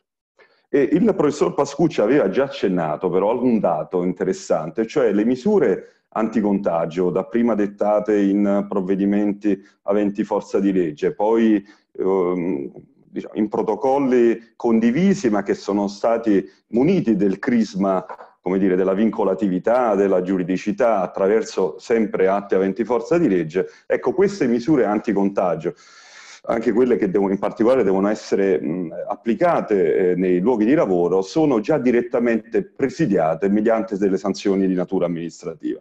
Oggi la norma di riferimento è l'articolo 2,1 dell'ultimo decreto legge, quello del maggio, eh, di quello appena approvato nel mese corrente, il decreto legge numero 33 del 2020, questa norma stabilisce che salvo che il fatto costituisca reato diverso da quello di cui all'articolo 650 del codice penale, insomma si vuole evitare l'applicazione della contravvenzione dell'inosservanza di provvedimenti di autorità, ecco, salvo comunque che il fatto costituisca reato, le violazioni delle disposizioni del decreto oppure dei decreti dell'ordinanza emanate in attuazione sono punite con una sanzione amministrativa che è quella prevista dall'articolo 4,1 del decreto legge del 25 marzo 2020 numero 19, che è una eh, sanzione che può oscillare dai 400 ai 3.000 euro.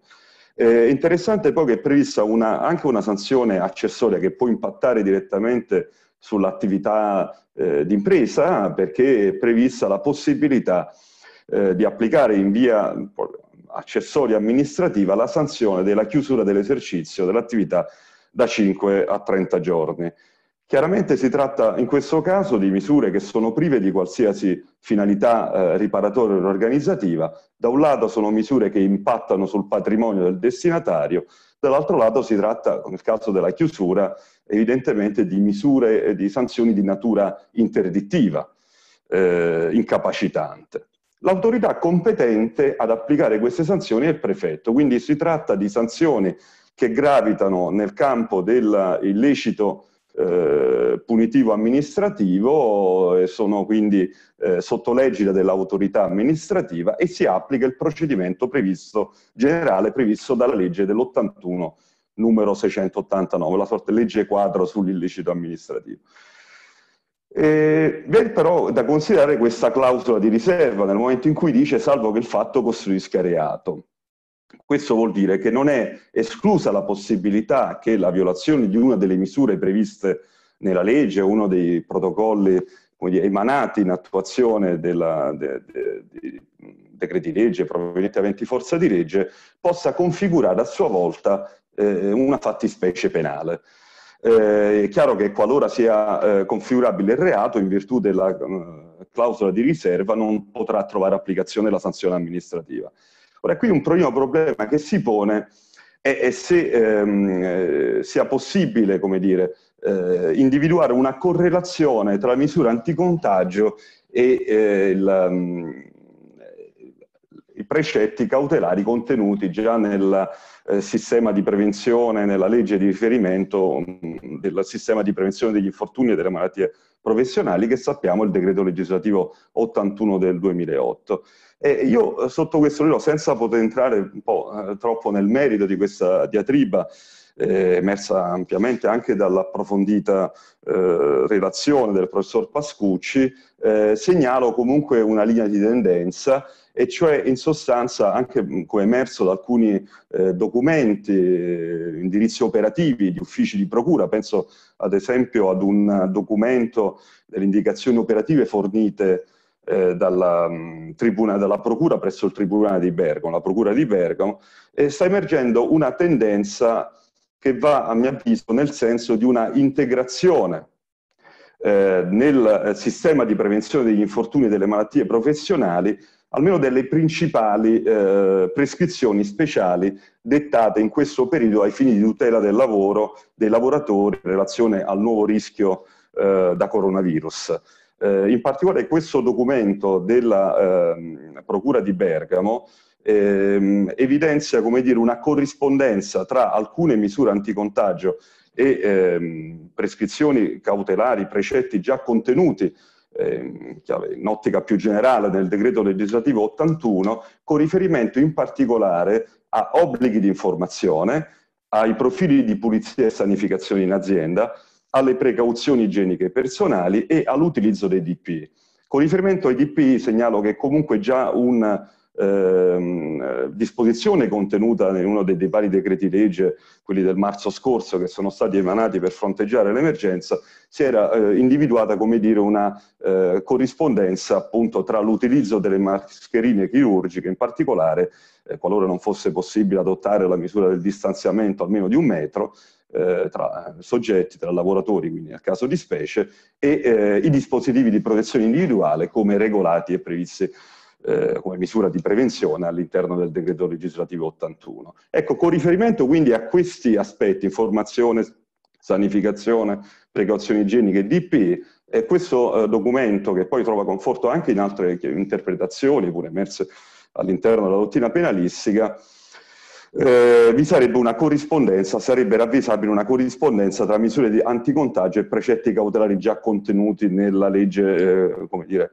del decreto 4 in materia di prevenzione di infortuni sul lavoro. Ciò vuol dire che si tratta, eh, nel caso in cui queste misure eh, anticontagio eh, fossero violate, quindi risultasse anche mediante l'attività di organi di vigilanza la violazione di queste misure, sarebbe da un lato possibile eh, configurare, ehm, eh, affermare diciamo, la commissione delle relative fattispecie contravvenzionali previste nel decreto legislativo 81 e dall'altro lato sarebbe attivabile quella procedura eh, di, ehm, consistente nell'adozione di provvedimenti prescrittivi ai sensi del decreto legislativo del 94 numero 758 che in caso di adempimento, come sappiamo, può condurre anche alla estinzione della contravvenzione. Qui siamo però ancora a un versante di, come dire, se parliamo di rilevanza penale di certe condotte, di reati contravvenzionali, reati di mera condotta che consistono nell'omissione di eh, cautele espressamente tipizzate in fonti legali. Il problema più delicato, che poi eh, fa, come dire, da premessa al discorso che dovrò fare con riferimento ai profili di responsabilità da reato, eventuali profili di responsabilità da reato degli enti collettivi per eh, in caso di infortunio dovuto a contagio eh, per l'azione del nuovo agente patogeno, ecco, l'aspetto più delicato riguarda i delitti di evento che abbiamo prima menzionato. Cioè se sia in sostanza eh, possibile eh, configurare, in che misura, una responsabilità penale individuale per l'evento consistente nel contagio da coronavirus e quindi con possibile applicazione in caso in cui sia ravvisabile una condotta colposa del soggetto tenuto ad applicare una determinata eh, o determinate misure anticontagio dei reati di omicidio e lesioni colpose eh, con violazione di norma a tutela della salute e sicurezza sul lavoro. Ora, qui bisogna partire da un dato normativo che poi ha anche fatto molto discutere, diciamolo, no? e cioè il fatto che il legislatore con un'espressa previsione legislativa, in particolare mi riferisco all'articolo 42,2 del decreto legge numero 18 del 2020, ha espressamente qualificato il contagio da coronavirus in occasione del lavoro come infortunio. Eh, perché è stato qualificato? Perché questo risponde diciamo, anche a una tradizione eh, risalente, consolidato, e cioè ehm, il caso dell'infezione ehm, no? eh, dovuta a un agente patogeno è tradizionalmente eh, inquadrata nella categoria della malattia infortunio. Cioè si tratta di quelle situazioni in cui la causa, eh, diciamo, eh, casi in cui diciamo, la causa virulenta è equiparata alla causa violenta proprio dell'infortunio. Eh, si parte dall'assunto che l'azione eh, traumatica qui coincide proprio con il contatto e la penetrazione nell'organismo dell'agente patogeno. Cioè in sostanza in queste eh, per queste ragioni appunto la, eh, una causa virulenta è equiparata appunto alla causa violenta che è tipica diciamo, dell'infortunio in senso stretto. E quindi eh, anche eh, sotto questo livello la malattia infortunio, diciamo, l'infezione da coronavirus è stata inquadrata eh, dalla legge eh, nel mm, eh, concetto appunto di, eh, di, infortunio.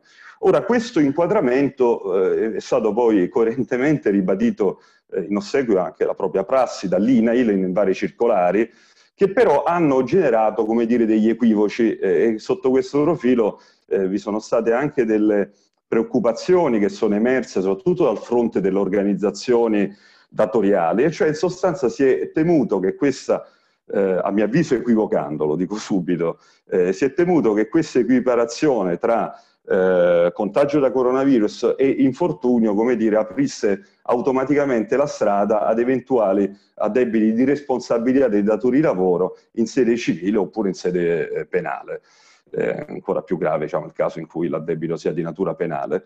Ora, e qui eh, la, la, la, di recente, ehm, prima diciamo, di questo emendamento che oggi è in discussione, no? l'emendamento al decreto liquidità, l'INALI è intervenuto intervenuta il 20 maggio scorso con una nuova circolare in cui a mio avviso in sostanza ha chiarito l'ovvio e cioè che la prospettiva dell'INAIL è chiaramente una prospettiva eh, di carattere assicurativo, cioè la qualificazione del contagio eh, come infortunio nella prospettiva dell'INAI è funzionale appunto alla tutela assicurativa del lavoratore.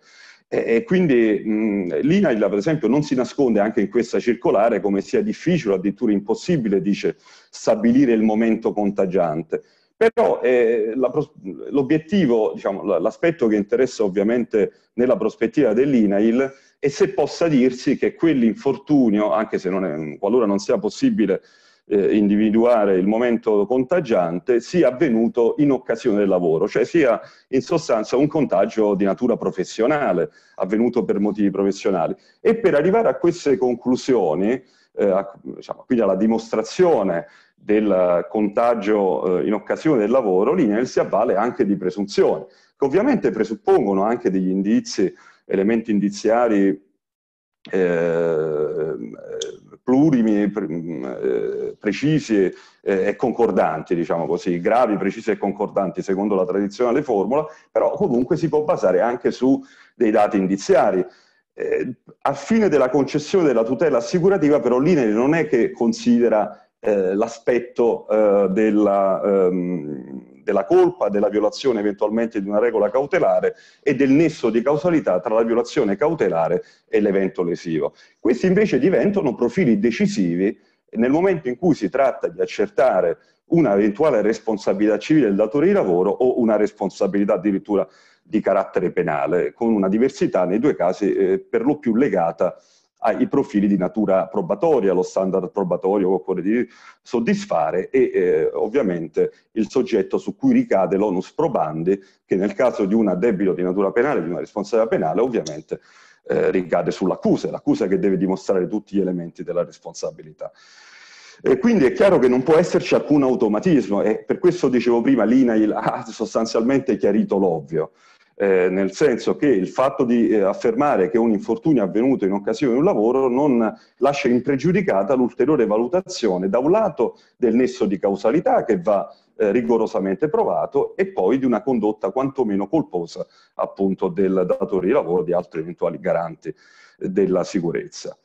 E, quindi per poter arrivare a un eventuale addebito eh, penale, una contestazione penale nei confronti di un datore di lavoro, eh, in particolare nei confronti di un datore di lavoro che è il primo garante della salute e sicurezza dei lavoratori, eh, come sappiamo, ehm, occorre necessariamente partire dalla dimostrazione della mancata adozione di alcune misure appunto codificate, il campo si va restringendo appunto, come abbiamo visto anche in virtù di ehm, eh, emendamenti, di disposizioni che sono ora in corso di eh, elaborazione, si va restringendo a quelle, alle misure che siano effettivamente codificate o in atti aventi forza di legge o in protocolli.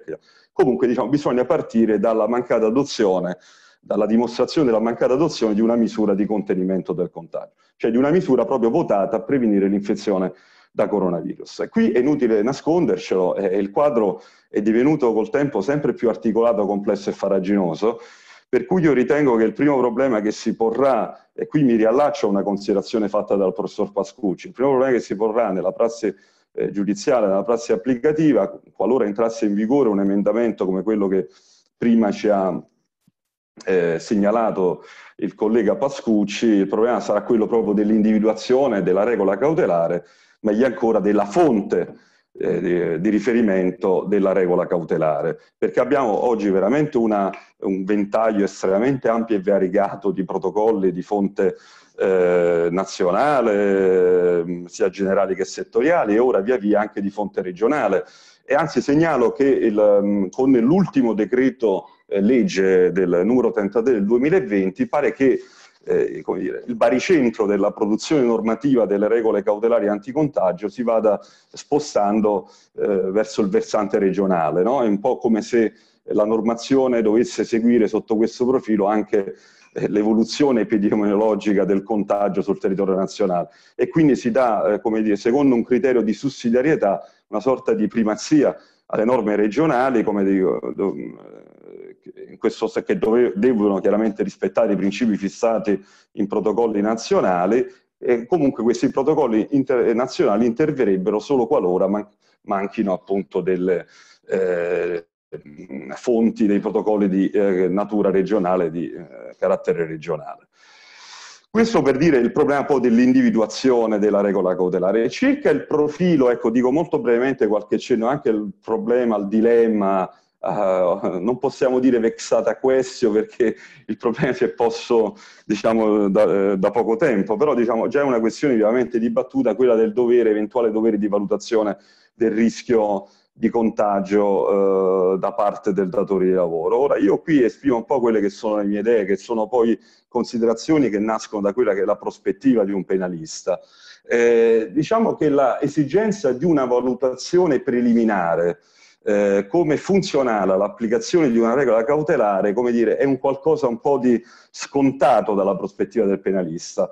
Cioè, in sostanza, che cos'è la valutazione del rischio in generale? Lasciamo perdere il tema, de, non, non, riguarda il problema solo ovviamente le regole cautelari in materia di salute e sicurezza. Eh, nella teorica, nella teoria della colpa penale, nella dogmatica della colpa penale, si parte dall'assunto che la, un momento, come dire, di diligenza informativa, di diligenza conoscitiva eh, sia la premessa logica poi del processo decisionale che porta ad individuare la regola cautelare da applicare nel caso concreto le modalità di attuazione poi di questa regola cautelare nella situazione fattuale. Quindi anche in presenza di regole eh, cautelari eh, positivizzate, codificate, eh, secondo questa diciamo, eh, prospettiva non può eliminarsi proprio da un punto di vista logico un momento valutativo, cioè una valutazione che parta da quella che è la situazione fattuale nella quale poi dovrà essere calata la regola cautelare. Ehm, e questo diciamo a prescindere poi dal profilo formale, perché qui il problema vero che si è posto è se eh, l'eventuale valutazione appunto del, del, del rischio all'interno del singolo contesto eh, lavorativo da parte del datore di lavoro dovesse essere effettuata secondo le cadenze che sono specificate, no? cadenze procedimentali, eh, eh, conoscitive, eh, temporali, indicate nel, nel, testo unico in materia di salute e sicurezza, in particolare negli articoli 28 e seguenti. Questo è un po' il problema diciamo, che si è posto da un punto di vista pratico, cioè se in sostanza eh, questa valutazione dovesse, essere, dovesse, avvenire nelle forme che, eh, tipizzate tassativamente nel decreto legislativo 81. Però da un punto di vista generale, in termini generali, come dire, una valutazione del rischio è un presupposto ineliminabile anche dell'applicazione di regole cautelari eh, codificate. Se ciò non fosse vero, allora dovremmo affermare che anche le regole cautelari codificate in materia di salute e sicurezza eh, non richiedono un momento valutativo perché il, datore di lavoro dovrebbe limitarsi ad applicarle eh, diciamo nella, nella, realtà produttiva.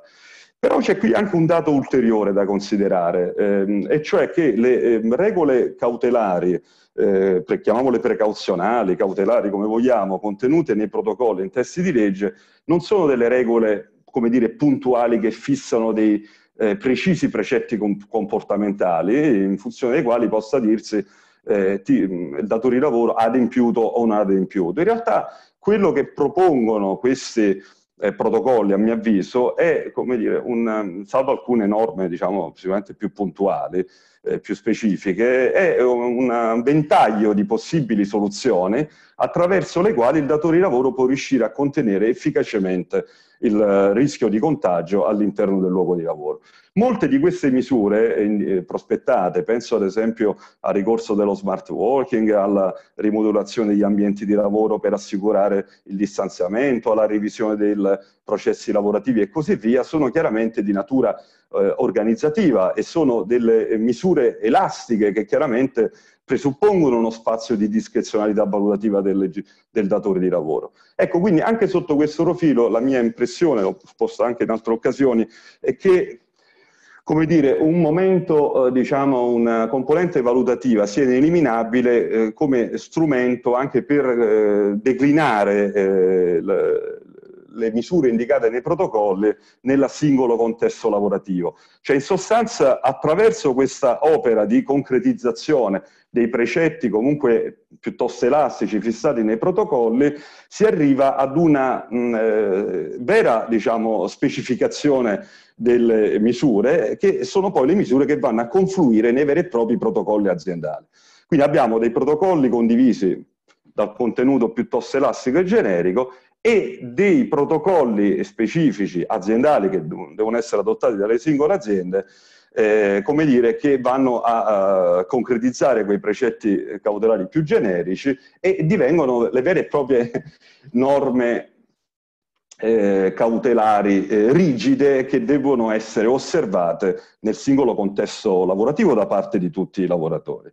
Eh, altri spunti che potrei dare in questo senso, ad esempio il protocollo ehm, condiviso in materia di cantieri, in questo protocollo si dice chiaramente che il datore di lavoro ehm, eh, committente, che come sappiamo è tenuto a nominare i vari coordinatori, ecco diciamo uno di questi coordinatori, il coordinatore per l'esecuzione dei lavori in materia di cantieri, deve integrare, deve ehm, eh, aggiornare, integrare comunque il piano di sicurezza e coordinamento. Questo pure va quindi nel senso appunto di una necessità di eh, valutazione, di aggiornamento dei documenti eh, volti a prevenire il mm, eh, rischio di infortunio o malattie professionali. E segnalo anche un altro, un altro diciamo, protocollo interessante che merita a mio avviso di essere segnalato in questo quadro così composito e variegato di, eh, di protocolli finora emanati, è quello adottato dalla conferenza delle regioni il 17 maggio scorso. Questo è un, un eh, protocollo, quindi diciamo, il primo protocollo di, eh, rilievo importante di rilievo regionale che è stato adottato comunque in sede di conferenza delle regioni probabilmente anche per garantire più possibile una uniformità sul territorio nazionale. Questo protocollo si trova allegato ora al DPCM del 17 maggio. E lì vi si afferma proprio espressamente che eh, si adotta quindi questo eh, punto di vista che tra l'altro era già stato espresso anche dall'INAIL in alcuni documenti emanati in questo periodo, che il sistema aziendale, si dice testualmente, della prevenzione consolidatosi nel tempo secondo l'architettura prevista dal decreto 81 costituisce la cornice naturale per supportare la gestione integrata del rischio connesso all'attuale pandemia. Quindi in sostanza qui la prospettiva mi sembra definitivamente appunto suggellata quest'idea di una eh, sostanziale integrazione del sistema delle misure anticontagio nel eh, quadro del, eh, del, del, del, tradizionale sistema di prevenzione degli infortuni. Ora questo a mio avviso non va però del tutto, diciamo, non va in contraddizione con quello che ci ha eh, espressamente, brillantemente esposto prima il professor Pascucci, perché eh, a mio avviso qui pesa molto veramente il passaggio da una prima fase emergenziale di esposizione quasi traumatica al, a nuovi eventi imprevisti a una fase invece in cui si deve consolidare, come dire, una gestione più sistematica, meno eh, condizionata anche dall'urgenza ecco, di queste problematiche. E quindi l'idea è che piano piano queste misure di contagio, ovviamente eh, fin quando durerà l'emergenza, debbono essere integrate in qualche modo nel, eh, nei, nei, sistemi diciamo, di prevenzione degli infortuni adottati a livello aziendale eh, in ossequio a quello che prevede il decreto legislativo 81. Eh, questa diciamo è un po' ecco, la, linea, la linea di tendenza che premeva sottolinearvi. Tra l'altro l'INAIL ha emanato un documento in cui, eh, come dire, eh, dell'aprile scorso, in cui propone anche una metodologia integrata di gestione del rischio di infortuni e quindi anche sotto questo profilo eh, si dettano delle indicazioni su come poi il, il, datore di lavoro debba effettuare questa valutazione. In particolare vengono indi indicate tre variabili, che sono l'esposizione al rischio, la prossimità, cioè il modo in cui appunto si svolgono i processi lavorativi e quindi in che misura questi possono andare a detrimento della misura primaria del distanziamento e l'aggregazione, cioè eh, i lavori in che misura possono determinare e con che frequenza e intensità il contatto tra i vari soggetti. Ovviamente, chiariamo, non è che il, il, datore di lavoro debba valutare il rischio da un punto di vista scientifico, perché questo è un problema che, che compete evidentemente all'autorità pubblica e si basa sullo stato delle conoscenze disponibili. La valutazione del rischio che deve fare il datore di lavoro è essenzialmente quella votata a appunto assicurare la declinazione, come dicevo prima, delle misure indicate nei protocolli nei singoli contesti produttivi. E questo, ripeto, a mio avviso è un momento diciamo ineliminabile. Poi la questione, e qui venga un problema che sicuramente interessa anche gli organismi di vigilanza, se questo debba avvenire attraverso un vera e propria rielaborazione del documento o mediante un addendum, un'appendice diciamo, integrativa eh, specificamente legata alle esigenze poste dall'emergenza del documento di valutazione dei rischi, è una questione direi più redazionale. E cioè e chiaramente dipende pure dalla misura in cui eh, l'adozione delle misure anticontagio determinino o meno delle modifiche organizzative più radicali, perché come diceva prima il professor Pascucci, se l'applicazione di queste misure comporta una radicale revisione, una consistente revisione dell'organizzazione del lavoro, è chiaro che questo implicherà quasi inevitabilmente poi, eh, almeno se l'emergenza dovesse durare per un tempo ancora mh, significativo, una rielaborazione del documento di valutazione dei rischi, perché la valutazione del rischio non può che essere, come dire, olistica, unitaria, non, non è possibile considerare le misure in modo parcellizzato, una distinta dall'altra. Faccio un esempio, possiamo prevedere in un documento di valutazione dei rischi pre-pandemia come misura diciamo, di prevenzione il controllo visivo dell'attività eh, durante il processo lavorativo. Se applicando la misura del distanziamento viene meno questa misura diciamo, cautelare, cautelativa del controllo visivo, è chiaro che si determina una eh, diciamo, eh, revisione del processo lavorativo che può comportare altri rischi che a loro volta debbono essere rivalutati e gestiti mediante altre misure. Ecco, questo per dire come poi l'applicazione di una misura può condizionare eh, altre diciamo, eh, prescrizioni cautelari che erano state precedentemente adottate all'interno di una singola azienda. Quindi cosa deve fare allora l'organismo di vigilanza? Veniamo poi ai profili 231. Partiamo allora dal dato che eh, abbiamo già detto che la, la, la prima diciamo, esigenza imprescindibile è che sia accertato un reato no? come reato presupposto previsto dall'articolo 25, 25 septies. Eh, dopodiché, eh, per poter eventualmente affermare una responsabilità dell'ente eh, per omicidio o lesione eh, dovute ad un eh, contagio da coronavirus, quindi è un evento infortunio di questa natura, ehm, dovuto anche all'omissione colposa di cautele, si tratterà di dimostrare quelli che sono i requisiti eh, della responsabilità dell'ente previsti dal decreto legislativo 231 del 2001, la realizzazione del reato nell'interesse o vantaggio dell'ente. E qui credo che non avrà problemi la giurisprudenza eh, ad affermare, qualora si trovasse ad affrontare questa questione, eh, un interesse vanta o vantaggio nella misura in cui, nei casi in cui la eh, mancata adozione di una misura anticontagio abbia potuto determinare un risparmio di spesa o comunque un'accelerazione dell'attività produttiva. È chiaro che queste misure possono in qualche modo determinare di per sé un rallentamento della produttività, della produzione. E non è detto che ciò accada, potrebbe accadere comunque che il, eh, diciamo, non, la, la, politica dell'impresa non sia in alcun modo votata al risparmio di spese, che quindi eh, la mancata di una, attuazione della misura sia legata veramente ad una negligenza ehm, individuale non imputabile ad una responsabilità dell'ente. Poi c'è l'altro grande requisito, come sappiamo, della responsabilità dell'ente, che è la colpa di organizzazione.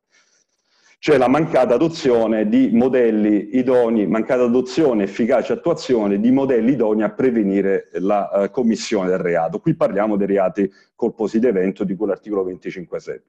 Ecco, sotto questo profilo è necessario o meno aggiornare il modello, sono abbastanza in sintonia con quello eh, che ha sostenuto prima il collega Pascucci, e cioè in sostanza non è di per sé indispensabile, non è indefettibile, ecco come dire, un aggiornamento del modello per far fronte alle nuove esigenze, ai nuovi problemi, ai nuovi rischi eh, determinati dalla diffusione pandemica di questo virus. Cioè il modello è, come dire, uno strumento organizzativo che se idoneo è dotato della necessaria flessibilità eh, anche per reagire dire, a situazioni emergenziali.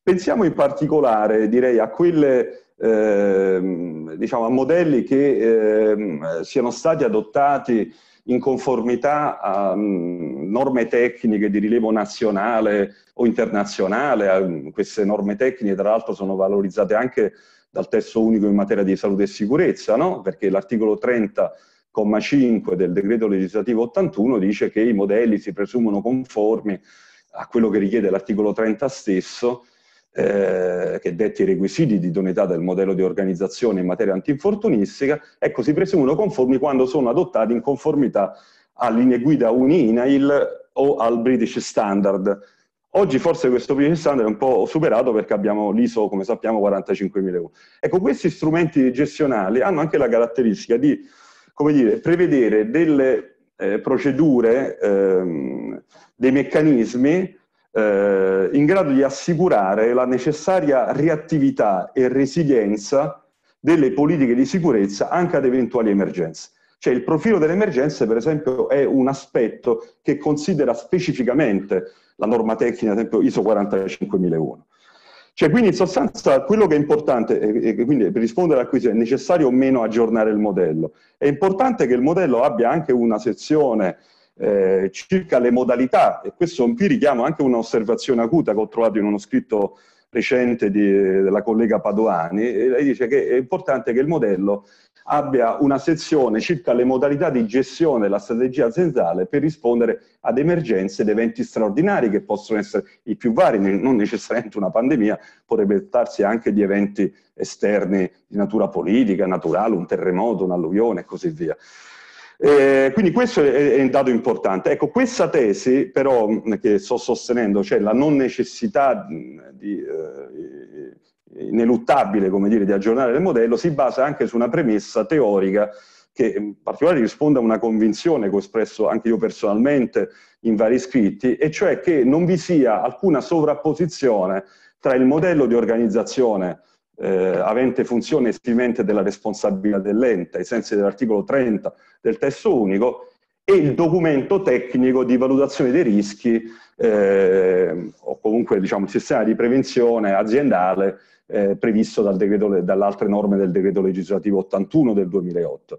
Cioè, in altre parole, io concepisco il modello di organizzazione come uno strumento, diceva il professor Pascucci, un, un modello, diciamo, un sistema organizzativo, un sistema gestionale, che è funzionale, come dire, a presidiare il corretto adempimento di doveri prevenzionistici che fanno capo però ai garanti individuali della sicurezza. Cioè in sostanza il modello detta la cornice mediante tutta una serie di protocolli, eh, di, di, di procedure, di meccanismi di vigilanza e di controllo per assicurare, come dire, le condizioni organizzative della osservanza dell'adempimento individuale. Questa distinzione logica è fondamentale perché significa anche che non ogni violazione cautelare imputabile a un garante individuale, come potrebbe essere anche come dire, una mancata o scorretta diciamo, valutazione di un rischio, la mancata adozione di una misura prevenzionale, automat automaticamente debba poter far inferire l'inidoneità del modello. Quindi sono due aspetti differenti. Quello che si valuta, diciamo, il dovere di organizzazione dell'ente è di dettare le regole organizzative generali che favoriscono l'adempimento poi individuale e questa è la diligenza che si richiede all'ente collettivo. Quindi questo è un altro dato che poi mi, eh, si collega a quello che è il ruolo dell'organismo di vigilanza.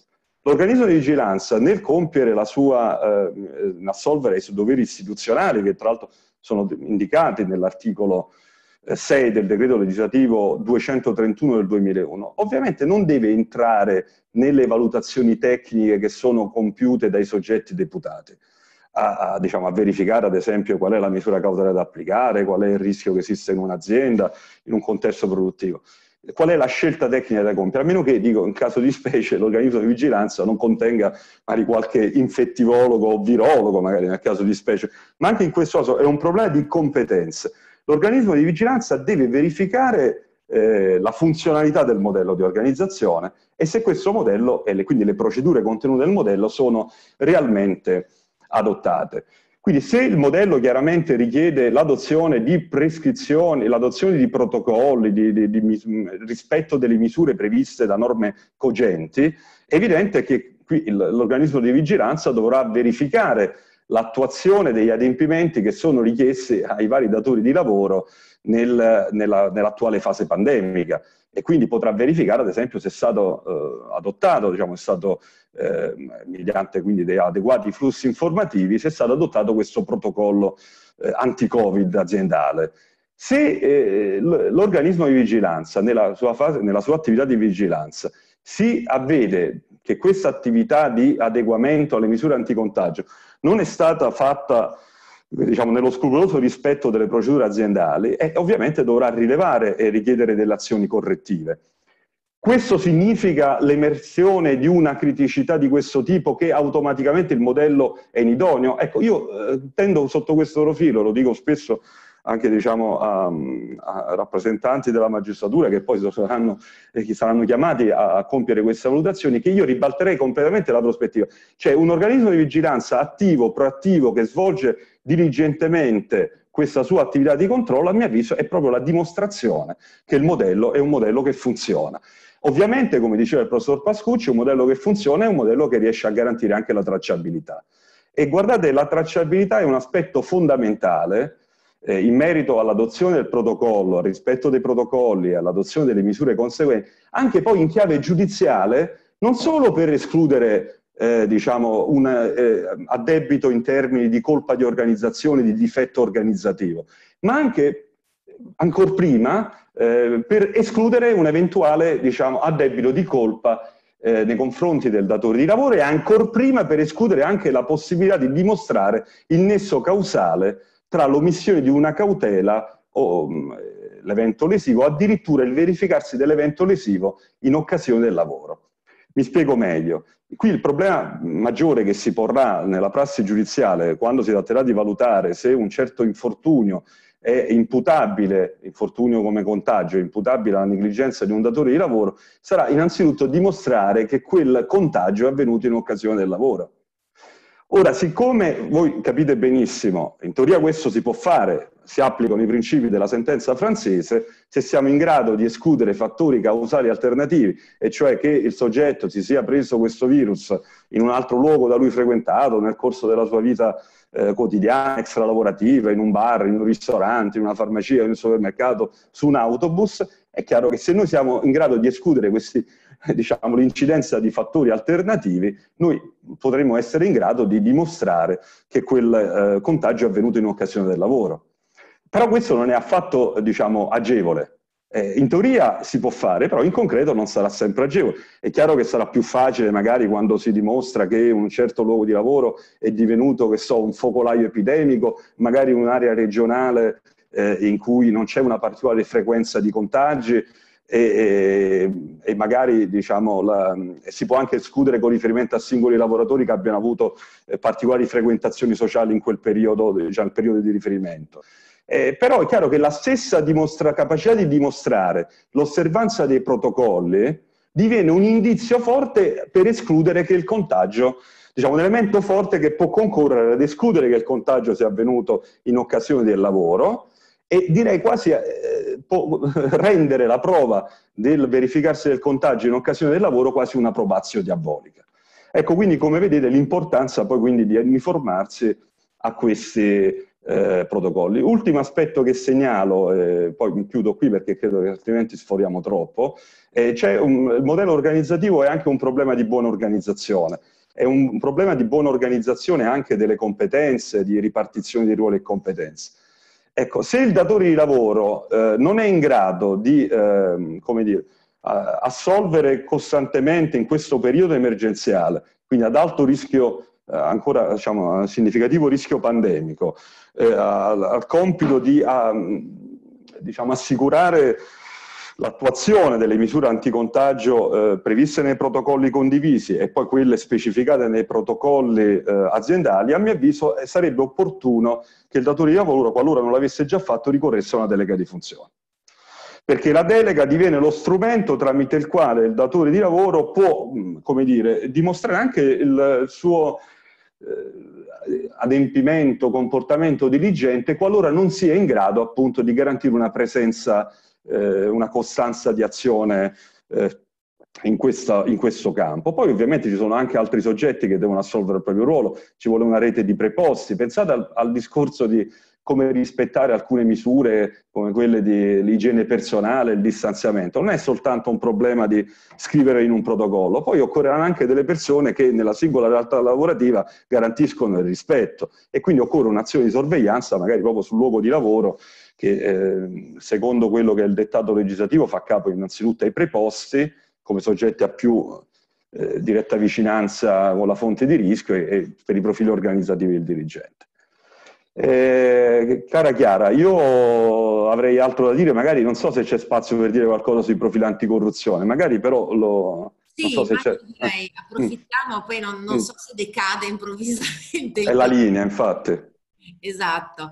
Intanto grazie Vincenzo. Prego, prego. Come sempre eh, hai una, una, chiarezza espositiva oltre che una profondità nell'approccio non soltanto concettuale ma anche operativo a questi temi che è straordinaria. Prosegui pure anche facendo riferimento all'aspetto anti-corruption.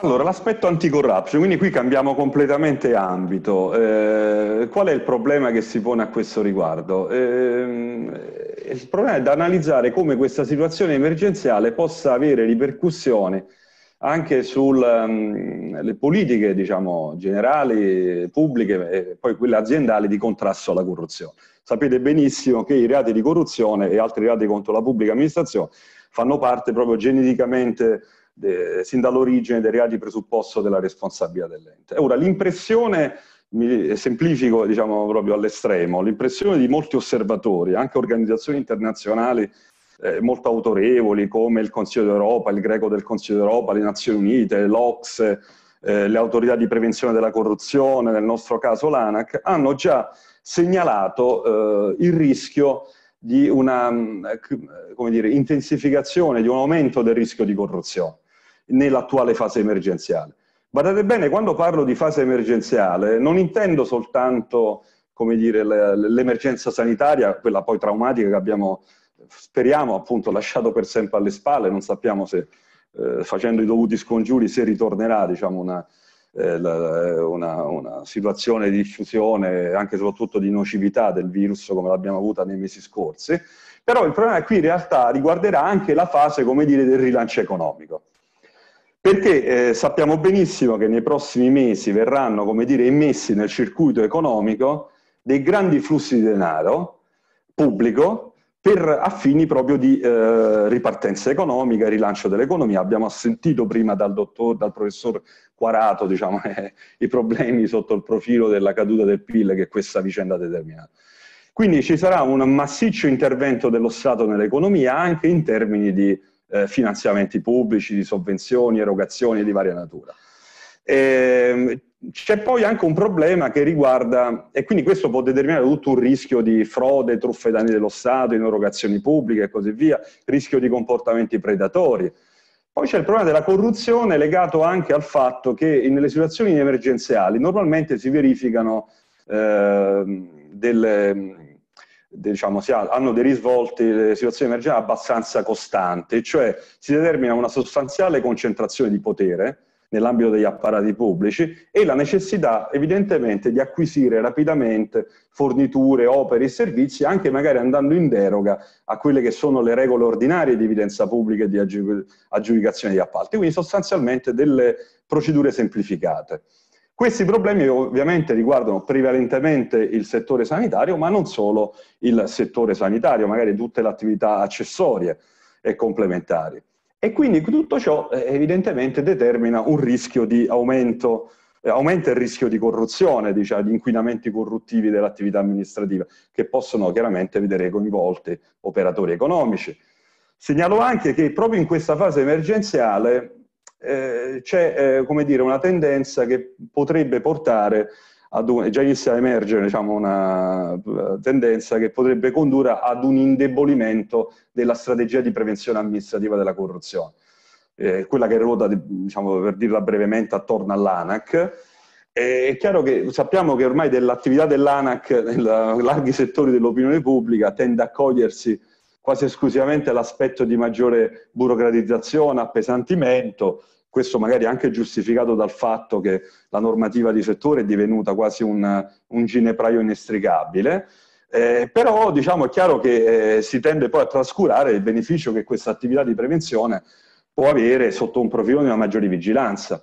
Cioè, abbiamo visto già casi di cronaca di cosa ha significato fare delle negoziazioni eh, di, a trattativa praticamente privata con degli fornitori di materiale sanitario, eh, abbiamo tutti reso conti già sui giornali, e quindi chiaramente i rischi di corruzione, di, di abusi che questo può determinare. Insomma, per farla breve, la pandemia rischia di sfociare, la pandemia sanitaria, in un'altra pandemia di eh, corruzione e conflitti di interesse. Esatto. Eh, penso, ecco, penso, in particolare al ruolo anche dei lobbisti, cioè io ho fatto una relazione qualche giorno fa, un altro incontro in materia di lobbying, e ho detto stiamo attenti che questa situazione non diventi l'Eldorado dei lobbisti, ma non quelli onesti, quelli che svolgono correttamente la propria professione, quelli che operano diciamo, nell'opacità, nell'oscurità, dietro le quinte e che molto spesso chiamiamo più che lobbisti, chiamiamo faccendieri. Eh, è chiaro che questi divengono spesso poi il canale privilegiato di acquisizione di informazioni o di contratti. Quindi ci vuole eh, chiaramente anche un particolare attenzione delle, delle società per contenere diciamo, questi rischi e quindi anche dell'organismo di vigilanza sui, circa i protocolli anticorruzione, il rapporto con eventuali consulenti esterni e in particolare coloro che svolgono attività di rappresentanza di interessi, eh, quindi vedere bene come questi contratti vengono stipulati, l'oggetto, le causali, i termini e così via. E, tenendo, il rapporto con i fornitori anche è fondamentale diventa, quindi il controllo serrato delle procedure, dei protocolli riguardanti le forniture e quindi diciamo, tutto il settore del procurement. Eh, è chiaro che per quanto riguarda il lobbismo, la situazione in Italia, come forse saprete, è complicata anche dal fatto che nonostante se ne parli ormai da decenni, non abbiamo una regolamentazione dell'attività di lobbying. Quindi esatto. questa figura non è riconosciuta eh, espressamente dal legislatore, non, eh, un, non, sono garanzie di trasparenza che potrebbero venire da un registro dei lobbisti, l'agenda degli incontri, altre misure di questo tipo e quindi si opera ancora molto nel, diciamo, in un contesto che è molto approssimativo. Eh, dicono gli esperti di lobbying che magari questo a volte è anche un, eh, questo, diciamo, mancanza di regolamentazione fa comodo anche ad una certa politica, eh, e, però diciamo, sotto questo profilo aumenta anche ovviamente i rischi che, ehm, eh, di abusi, di corruzione, di frodi che possono verificarsi anche diciamo, col coinvolgimento di una impresa, di una società. Questo, diciamo, ecco, grosso modo per quanto riguarda i profili, ecco, un'estrema sintesi chiara de, de, dell'anticorruzione. Grazie, grazie mille, quindi anche un'attenzione particolare in attesa che semmai verrà, eh, verrà studiata, pensata una regolamentazione sul tema dei rapporti istituzionali, quindi sul, per sostituire quelli che adesso chiamiamo appunto i facilitatori cosiddetti intermediari facilitatori a, a, dei professionisti qualificati che abbiano un determinato standing e nel frattempo però implementare quelle che sono delle procedure che riguardano i rapporti degli affari istituzionali, degli enti collettivi con i vari soggetti non soltanto pubblici nazionali ma anche internazionali e delle varie categorie ovviamente, ma anche, tu l'hai menzionato prima, credo che sia fondamentale una disciplina che ciascuna società deve avere sul tema del conflitto di interessi, una disciplina che eh, vada oltre quella prevista dal codice civile ovviamente, ma è una disciplina che tenga sempre a mente il conflitto di interesse potenziale, reale o anche solo astratto, secondo quelle che sono attualmente le migliori pratiche nazionali ed internazionali. Bene, andrei avanti eh, veramente ore ad ascoltarvi. Eh, io vi ringrazio moltissimo per questa partecipazione, ringrazio ancora tutti i colleghi che hanno aderito veramente numerosissimi e anche della pazienza di aver eh, come dire, consentito una chiusura coerente e approfondita di questi, di questi interventi. Se non avete domande io eh, saluterei, congederei questa questa sessione e sicuramente riorganizzeremo un evento uguale con magari anche gli stessi relatori e anche magari, come dire, allargato anche a dei virologi, a degli esperti anche di altri, di altri settori. Grazie, grazie infinite. Grazie a tutti voi. Grazie a Grazie. voi. Grazie, grazie professor Quarato, grazie, Grazie. professor Pascucci, grazie a tutti. Grazie. Grazie. Arrivederci. Grazie, grazie.